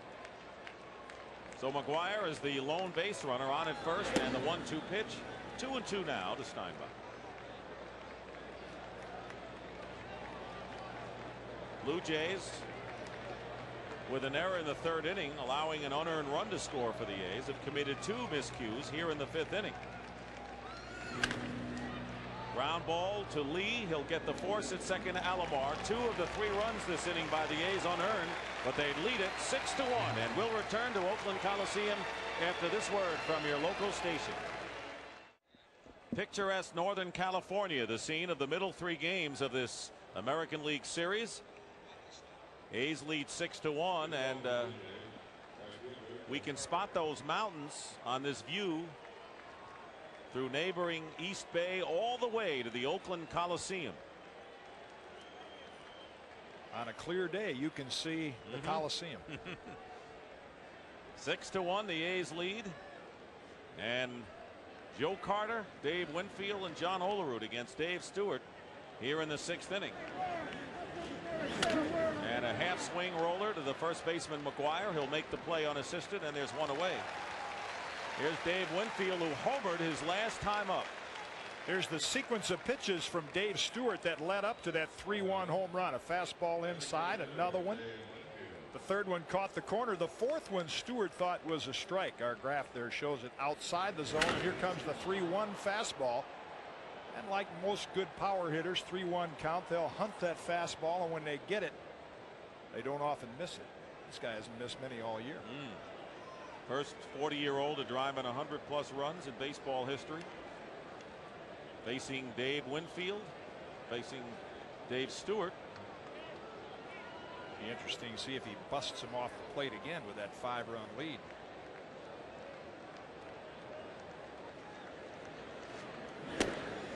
First pitch is strike one.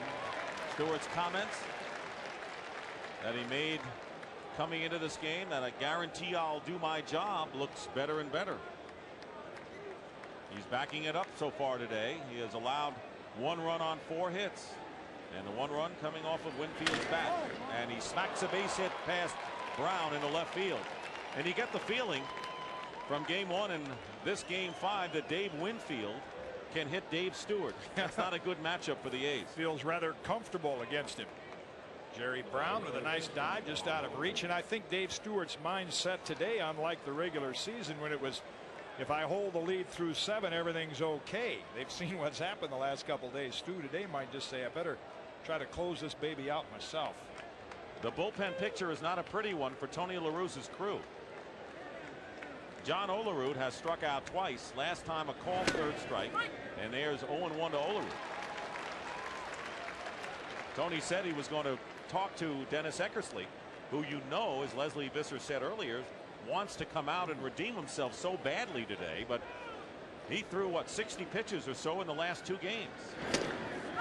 0 2 now to Olerud. Nothing a short reliever wants more than having a bad day and getting right back in the game in, in the next. And managers today are are usually very very thoughtful, very aware of that, and they will get them in a safe situation as quickly as possible.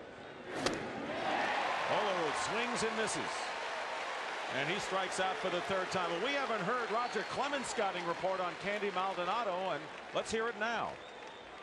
In order to get Candy Maldonado out, you want to stair step him with fastballs. And by that, I mean throw him a belt high fastball, and if he swings and misses that one, then try and entice him to swing at one a little bit higher.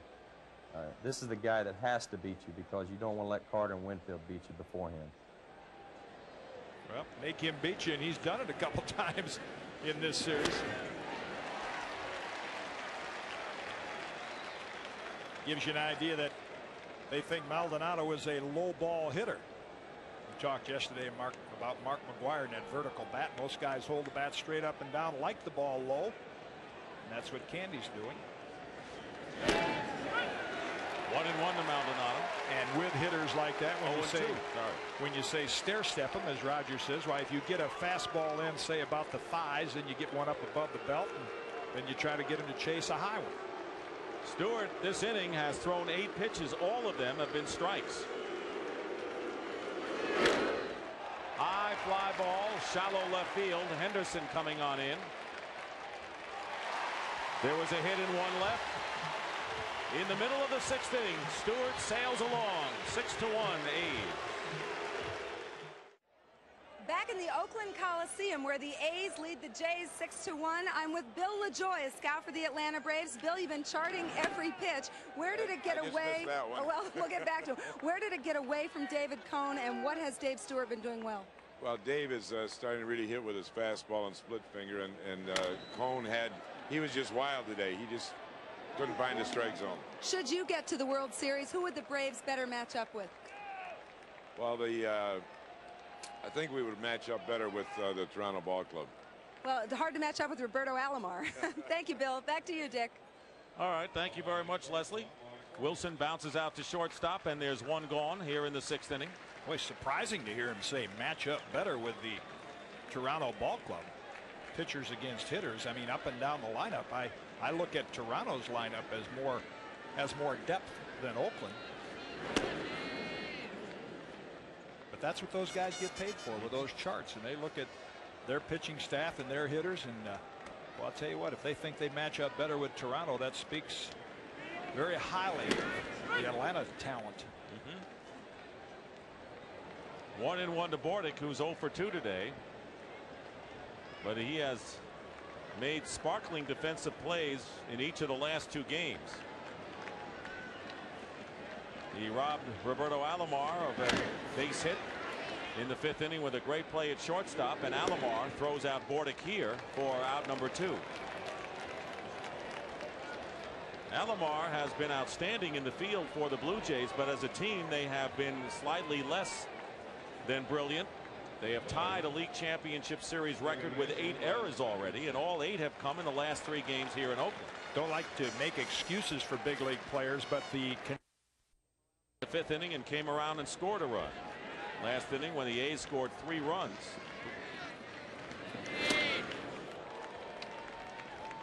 One and two now to Blankenship hitting ninth for the A's. A little different twist. You've seen the hard throwing right handers like Cone, Guzman, Morris. All of a sudden here comes the crafty lefty with that ball breaking down and away. A little change of speeds, herky jerky motion. Curveball and Blankenship goes down on strikes. So Jimmy Key has pitched well since he's come in. That's his first strikeout and we move to the seventh here in Oakland. Totals after six innings. The A's six runs, six hits, no errors. The Blue Jays one run, five hits, and three errors. As the A's leading by five runs. Similar scenario to yesterday, but Dave Stewart pitching solid baseball, looking to even or at least bring the A's to within a game and send it to Toronto for game six. Kelly Gruber leading off. And the count to Gruber is two balls and no strikes.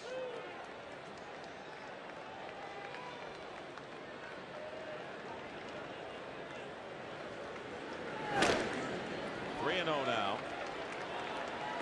Big game for Dave Stewart, who of course has been part of the Oakland A's success, 20 victories or more from 87 through 1990, part of their big success under Tony La Russa.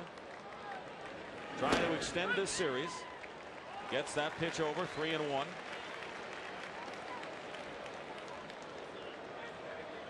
And if he does, the A's will have another veteran, Mike Moore, who would work in game number six in Toronto on Wednesday night. But Gruber leads off with a walk to start the seventh inning. And the beautiful pictures we've seen, that's the Coliseum where the Golden State Warriors play their games and are going through training camp. The Bud One airship giving us great pictures. Nice job, guys, throughout these three games.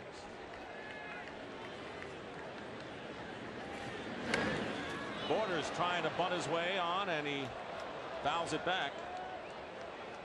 Not a bad idea. You're down five. Element of surprise. Borders known as more of a power hitter, so he has Jerry Browne playing back far enough.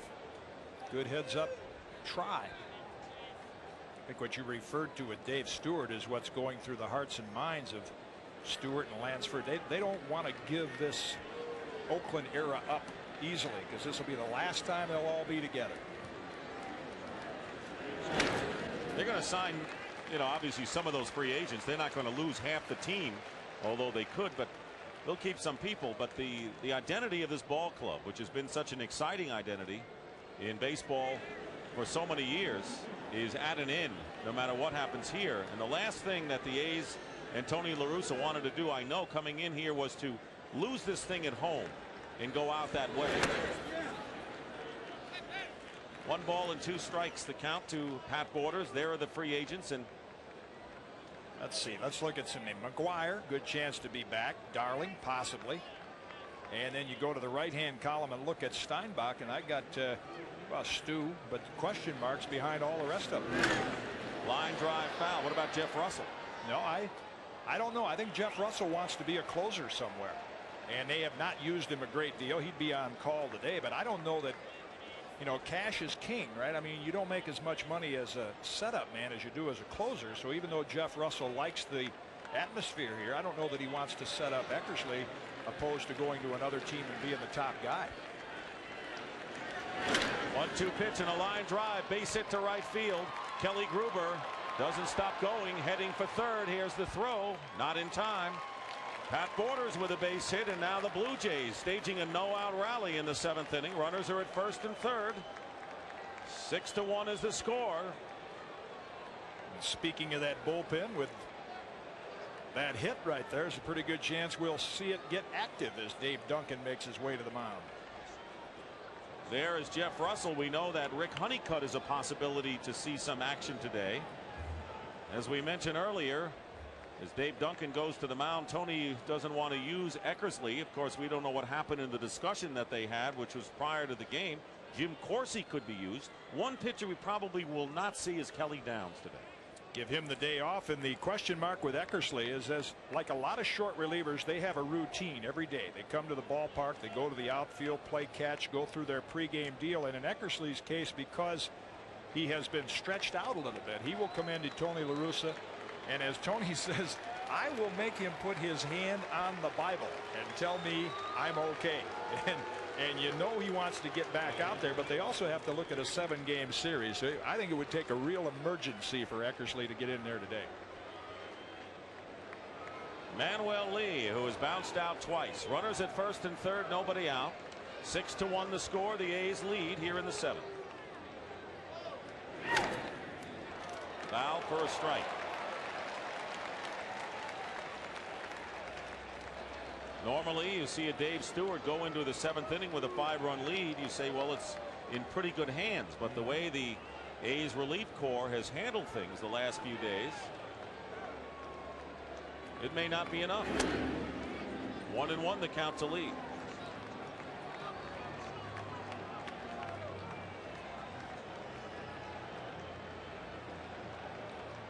Mike Bordick at shortstop checking with Blankenship at second. See who's going to cover on a double play ball. Fouled at the plate. You see no throws going to first base by Stewart. Earlier in the game talked about some pitchers pitch like there is no one on base and this is one of those situations if you're Dave Stewart. Runners at the corners nobody out but with a five run lead just pitch as if they're empty and try to get the hitter. That'll preserve the lead. You pay attention to the runners you get in deeper trouble. And why while Manuel Lee is such an important batter here, even though he's 0 for 2, consider that White and Alomar, two men who have done well off of Dave Stewart, are coming up next. So Stewart, in all reality, has to dispose of Manuel Lee, and there's a ground ball foul down the right field line. White with two hits and Alomar with one hit and robbed of a second would be the next two hitters for the Blue Jays. Six to one. The A's with two runs in the first, one in the third, and three in the fifth.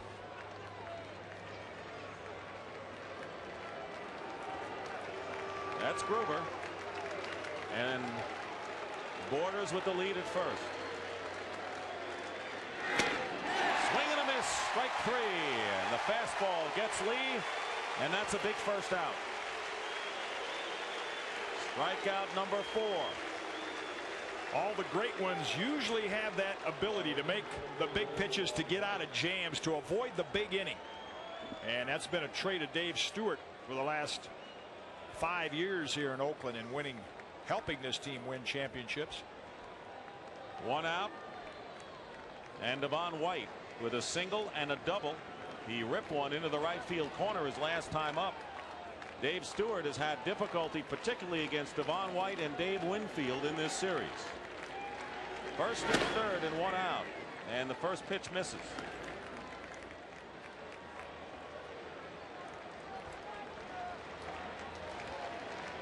Outfield shades White around on the left.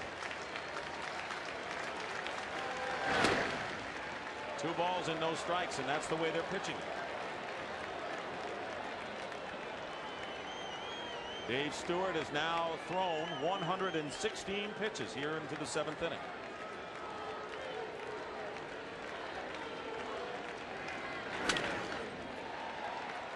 White getting a good pitch to hit fouls it off so Stewart got a break there two and one. Tony La Russa will not be as concerned with that pitch count in this game because if the A's come back and win, Stewart wouldn't have to start again till maybe Sunday. And if they lose, it's his last start. They're not going to wear him out, but he's not going to be as cautious as he would, say, in the middle of July. Line drive, base hit up the middle. So Devon White has three hits. Gruber will score. Moving to second is Borders, and it's a six to two ball game. So there's plenty of uneasiness here in the Coliseum. Yesterday, the A's had a 6-1 lead going into the eighth inning when the Blue Jays scored three times and tied it with two in the ninth. So this game still much in the balance, and you can tell from the Blue Jays dugout that they believe they can come back. Never before has this team been known as a comeback team. They're changing that reputation in a hurry. Here is Roberto Alomar. How dangerous has he been throughout the series against any pitcher?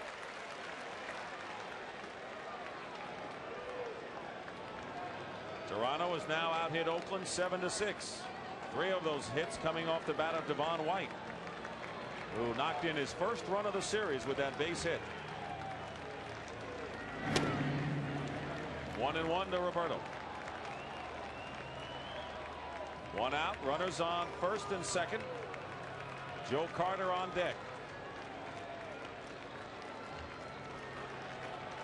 Six to two in favor of the A's. Oh. One ball and two strikes, and Alomar can't believe that was called for a strike. Banks are open. I mean, his borderline pitches have been going for balls, and Stewart and the A's get a big break there. Brinkman looking over the inside corner. Gave up on that fork ball. Called it a strike. Crowd yelling Stu. And there's a line drive right at second baseman Blankenship. They get the double play to Bordick, and that'll do it. As Pat Borders was running on the pitch, and Alomar hit it sharply and hits into a double play to end the seventh inning. The Blue Jays get a run, and in the middle of the seventh, the A's are in front six to two. Close call for Stu. Six to two, the A's in front, bottom of the seventh inning. Jimmy Key facing Rickey Henderson. First pitch in there for a strike. Henderson has reached base twice today. He walked, scored a run, and was safe on a bunt single.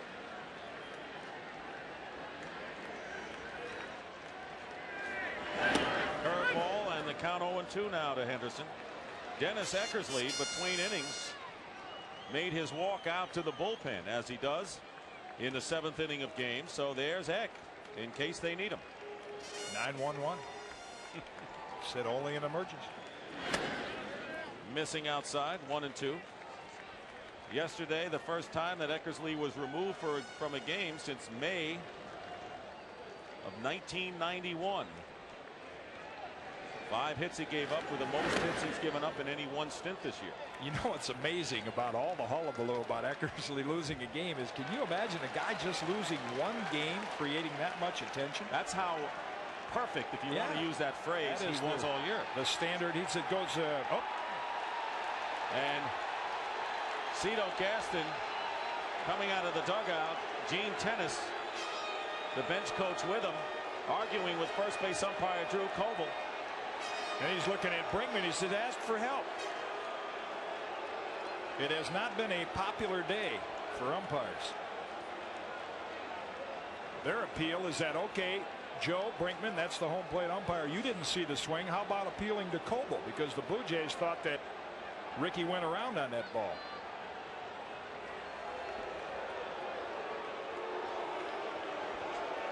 I think what's probably happened the entire game is there's been a lot of jawing going on from the benches from both benches and so before it gets out of hand as you see Rickey eh, borderline and you see Rickey almost go around and what Coble did was throw out Gene Tenace the coach to quiet things down and yet not throw out anybody on the roster.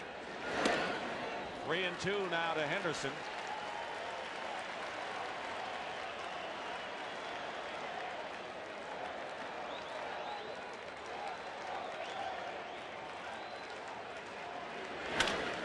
Line drive past Lee into center field.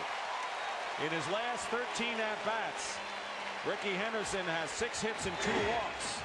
So he is really getting it going after a slow start in this series, and he's aboard to start inning number seven. Give you an idea how hard that ball was hit. I think Manny Lee felt he should catch this ball. And it look at the top spin on it. Lee takes one step. Now right there, his glove is there, and then it dives away from him. That was one of those top spin sinking liners and just darted away from Lee. Hmm. Henderson coming into the dugout, and we're going to have a pinch runner. And that's not a bad move. Eric Fox is going to run for Rickey Henderson, who leaves the game after going two for three.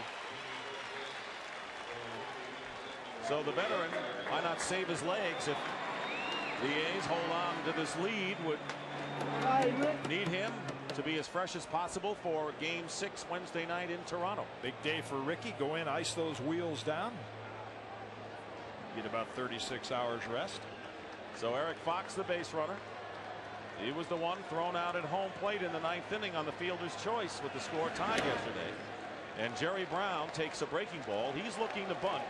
He was the best in the league at that this year was Browne, and he has had a fantastic game. Three for three.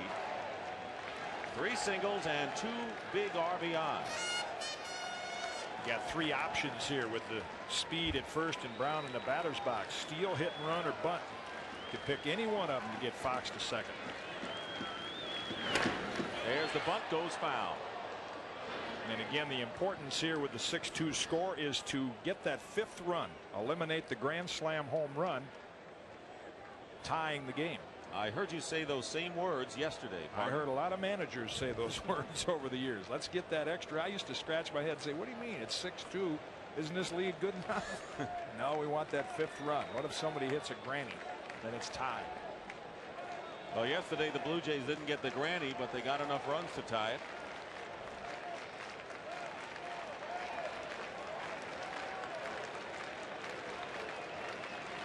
One and one the count to Jerry Browne.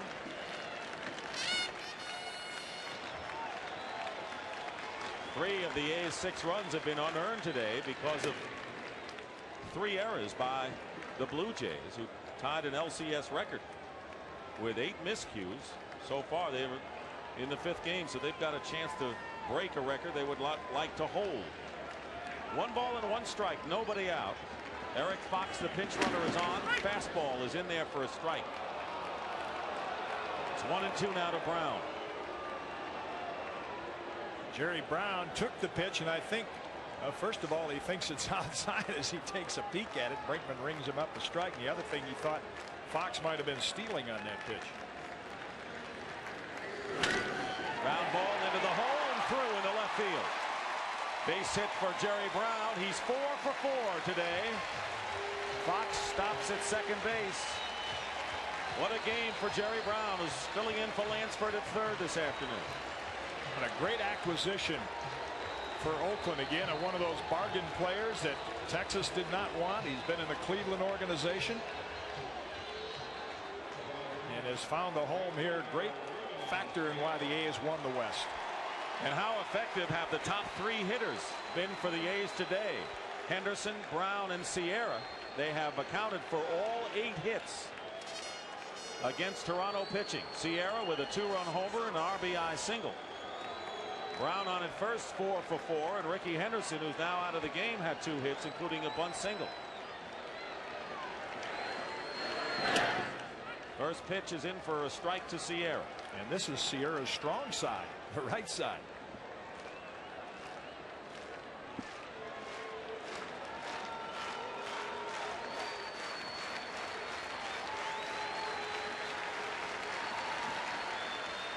Two on and nobody out. It's six to two in favor of the A's, and Sierra wanted to hit one over the scoreboard with that swing. You see the big swing right here, the high leg kick, and Jimmy Key with an off speed pitch. Doug Rader and the Oakland A's, Tony La Russa trying to get Sierra to just tone it down, not try to overswing.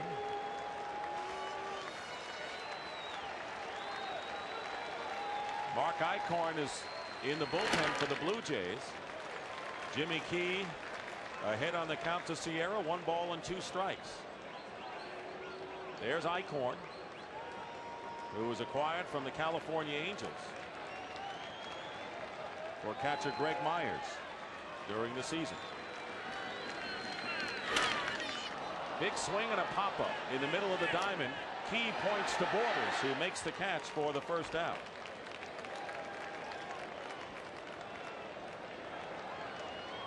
Jimmy Key's got one more man to get for Cito Gaston. If he can keep it a 6-2 game and get Baines out, then you'll you mentioned Eichhorn obtained from the Angels for the purpose of getting out some right-hand hitters, and he'd be the pitcher coming in to face McGwire. Fox on at second base. He ran for Henderson, who singled, and Jerry Browne on at first with the single. Four for four for Jerry Browne. Here's Harold Baines, sacrificed his last time up. He's 0 for 2 officially on the day. Goes after the breaking pitch and gets a piece of it. 0 1 the count.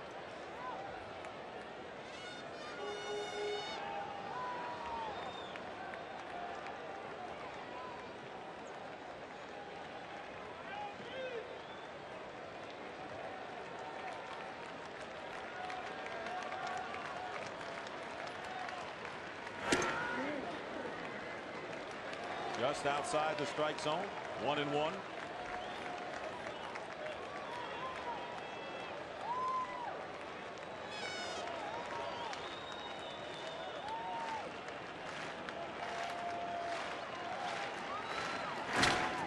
Goes to the opposite field. Maldonado going back on the track. Nearly slipped. Makes the catch. Tagging up his Fox. He'll go to third. Sliding in.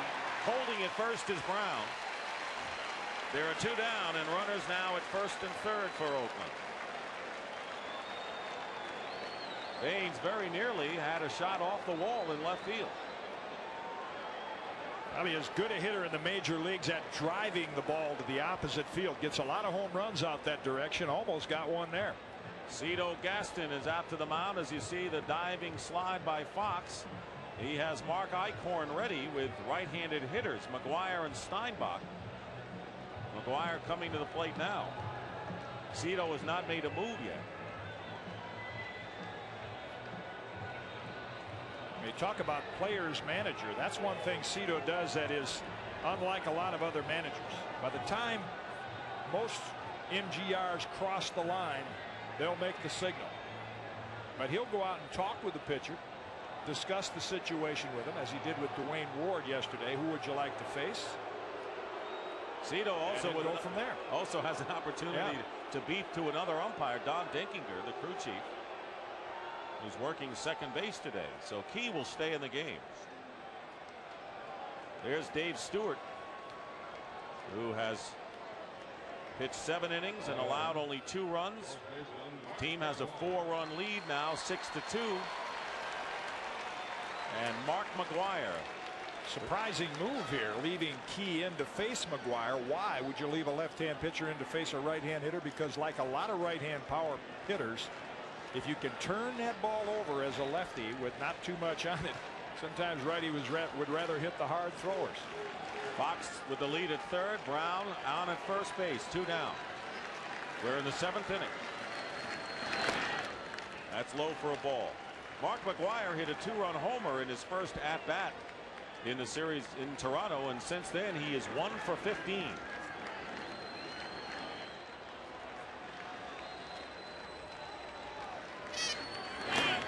Again low, 2 and 0. Two years ago, he also struggled at the plate. Hitting, as you like to say, Jim, a buck 85 with two runs batted in. The average this year deceptive because I know it's down there 125, but he's had a lot of good at bats. 3 and 0. And you say, okay, big deal. He had good at bats. He didn't get hits, but power hitters like that can miss the ball on the barrel for just an inch or two is the difference between a home run and a long fly. Very easily, Mark McGwire could have five home runs in this series. Ball four. McGwire walks for the third time. One of them was an intentional pass, and that'll load the bases. Second walk issued by Key. So Fox is at third base. Jerry Browne now moves to second, and McGwire on at first with two out. And an opportunity for Terry Steinbach here in the bottom of the seventh inning. And again, allowing the left-hander Key to stay in. I think an example of Cito Gaston saying, here's a veteran, a guy who started, who has faced both lefties and righties. Got enough confidence to use him. Steinbach swings at the first pitch and a foul pop. John Olerud makes the catch. He had Carter and Alomar around him, so Steinbach pops out with the bases loaded. And we go to the eighth inning here at the Oakland Coliseum, 6 to 2 the score. Well, one of the batting heroes for the A's, Jerry Browne, filling in for Carney Lansford at third base. Four for four with two RBIs. Dave Stewart comes out for the eighth inning, has allowed only two earned runs. And David Cone was knocked out in the fifth inning. Did not have it today for the Blue Jays, who came in with a three to one lead in games. Eric Fox replaces Rickey Henderson in left field. And Joe Carter stands in against Dave Stewart. Carter is 0 for 2, walked his first time up, and a fastball let her high, 0 1 the count. Attendance today is 44,955, and that's almost 4,000 fans under capacity. Breaking ball, a foul at the plate, two strikes. After failing again the last inning with a couple of base runners on and a chance to add to it, I think this is the most uncomfortable four run lead that Tony La had all year.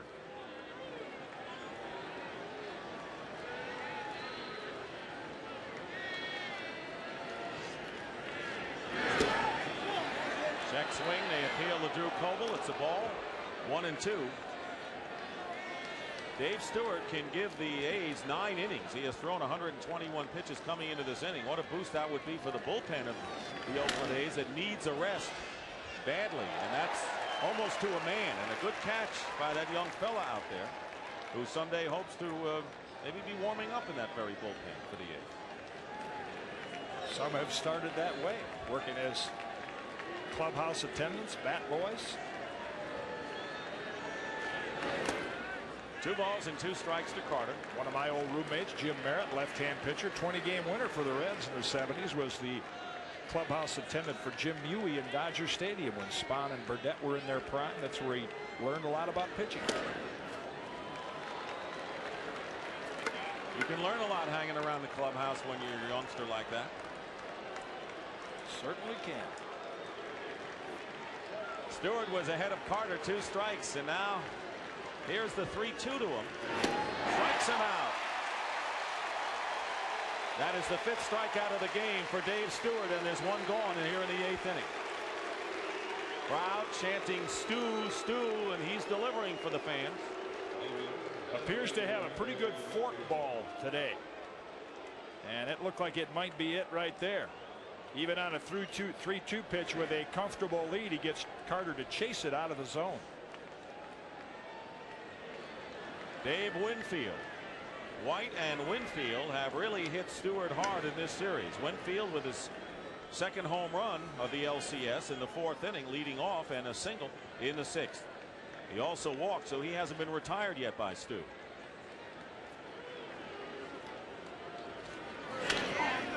And he pops up the first pitch. Steinbach. And they finally get Winfield. Right now let's check in with Lesley Visser. Lesley Dick, I'm here with an old friend of yours and a friend of Tony La Russa's Golden State Warrior coach Don Nelson. Don, what brings you here? Well, I'm a big A's fan. I love baseball, and I come to a lot of their games. You've been involved in a 3 to 1 comeback with the Celtics against Philadelphia. What does it take? Well, I'll tell you what, it takes a little bit of luck because you're always playing a great team, but it can be done, and if anybody can do it, the A's can do it. What about in your sport? The Pacific Division has a new old face. Are you glad about the return of Magic Johnson? I'm glad uh, to see Magic back. I really am. But Barkley, on the other hand, we wish he would have stayed in the East. Best of luck, Don. Back to you, Dick. All right. Don Nelson, one of the top coaches in the NBA. John Olerud fouls out, flies out to Eric Fox, and a 1-2-3 inning for Stu. Is he ever doing the job today for the A's?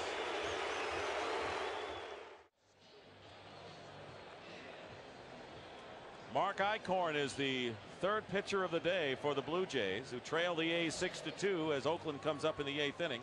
Eichhorn was acquired from the Angels on July 30th in exchange for catcher Greg Myers and outfielder Rob Ducey, and he began his pro career with the Blue Jays organization in 1979. And thrilled to be back home and a part of a winning team again. Boy, this guy was some part of the bullpen for the Blue Jays five or six years ago. Willie Wilson will lead off against him. Wilson 0 for 3 today. And all of the offense by the A's have come from the first three hitters in their lineup. First pitch and a fly ball to center field where Devon White shades his eyes and that's one out. Great pictures once more from uh, well I wouldn't mind being up there with that Bud One airship today Jim. We're almost up that high. Nice view here. That crowd was disappointing, but again, I think that points up how the Bay Area fans have been so spoiled by the success of this team that they are anticipating the World Series before they fill up the Coliseum. Mike Bordick would like to play in one. First pitch taken for a strike. Blue Jays coming in with a chance to wrap it up today. They may have to wait another couple of days to get another chance. But you don't want to give the A's too many opportunities. You want to put down a team when you can put them down and not give them a new life. And the Oakland A's may have gotten new life today. We'll see. Yeah, that old let's wait and win it at home. You could forget about that. The fans might say that, but the players never do. Foul ball down the left field line. And looking ahead to the game six matchup, if the A's go on and hold their 6 to 2 lead, it would be Juan Guzman against Mike Moore. Moore has had success at Skydome. He pitched the second game of this series. Guzman went in game number three and went six innings. Fly ball to center field. Once again, Devon White. Moore pitched seven innings in the Toronto 3 to 1 victory in game two. Make a little history if he does. And as you mentioned, Glavine pitching much better lately. There was some concern about him latter part of the season. Lance Blankenship with two down takes a call strike. How'd you like to hit off that as a right hand hitter? That motion we just saw from Mark Eichhorn. The ball's coming out of about the shortstop position. You know, since the LCS has gone from five to seven game series, no league championship playoff has ended in six games. ALCS.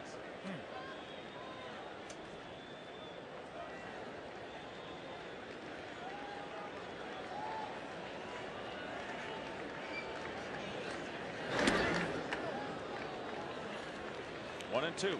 A lot of fives, a lot of sevens. Of course, until 1985, it was the best of five, three out of five, and it was the Blue Jays and the Royals 1985 that started the best of seven game series.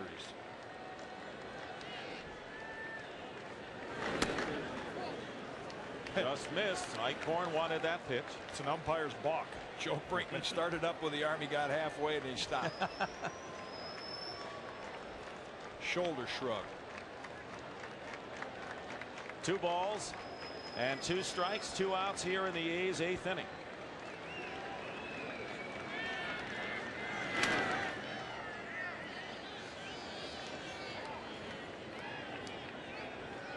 Bob Welch, who pitched so well yesterday, giving the A's seven plus innings. And would have been the story of the game had it not been for the Blue Jays tremendous rally.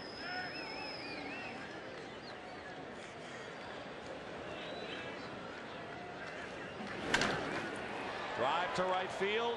Joe Carter is there and a one two three inning for Mark Eichhorn. We go to the ninth inning. The A's three outs away from their second win of the series.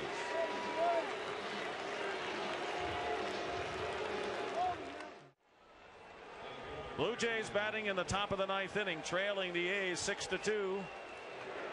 Victory by the A's would extend this series to at least six games Wednesday night in Toronto where Juan Guzman would oppose Mike Moore. But Candy Maldonado will lead off. He's 0 for 3 against Dave Stewart.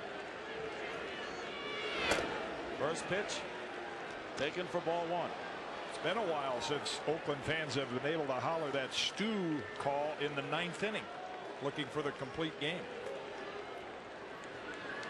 And a pop up into shallow right field. Lance Blankenship will give way to Ruben Sierra, and there's one out in the ninth inning. One out in the ninth inning, and Kelly Gruber, who has walked in three trips, and Dave Stewart, as he guaranteed, he said, I'll do my job. You mentioned that at the outset, Jim, and he has in a big way. Pretty good at closing the deal, also, which hasn't been done for a while. It's popped up and there's a play for Jerry Browne third base. What a game he's had with four hits giving Carney Lansford a rest and there are two down. The coordinating producer of Major League Baseball on CBS is Rick Lasavita. Today's telecast was produced by Bob Dekas and directed by Bob Fishman. And the senior producer of CBS Sports is Ed Goren. And the Blue Jays are down to their last out.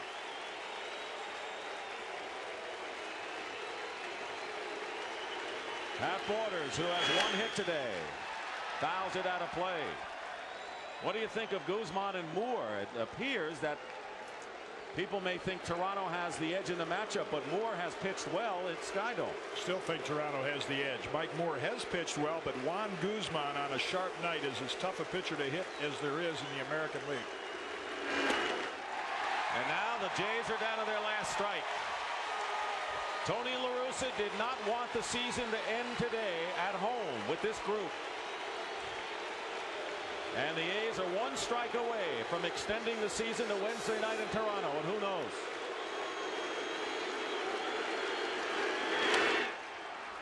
Border stays alive.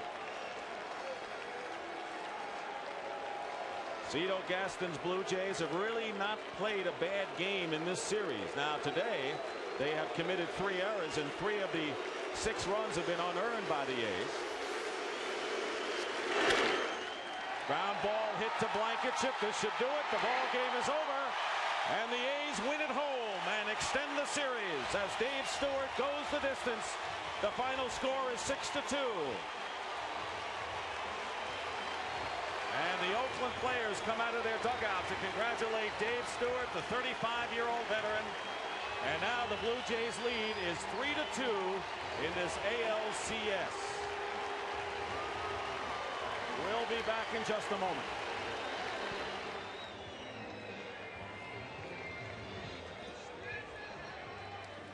Series is now 3 to 2 Toronto and the Chevrolet player of the game is Dave Stewart who went all the way for the victory. Chevrolet will donate $1,000 in his behalf to the Special Olympics and he's standing by with Lesley Visser right now. Lesley Dick, I'm with the man who could run for the mayor of Oakland. Congratulations, Dave Stewart. You said you're going to come out and do your job today. What was the key? Just throwing strikes, you know, being aggressive and, you know, staying in the strike zone. You know, we the guys got out early and gave me a, a little bit of cushion, and it made me relax a, a, a lot more than I was at the first, uh, at the outset of the game. And just, the guys helped me out, and I just tried to do the best that I could. Well, congratulations. You didn't let it end here. Back to you, Dick. All right, Lesley, thank you very much. The last pitcher to pitch a complete game in the ALCS was Bruce Hurst back in 86 and win.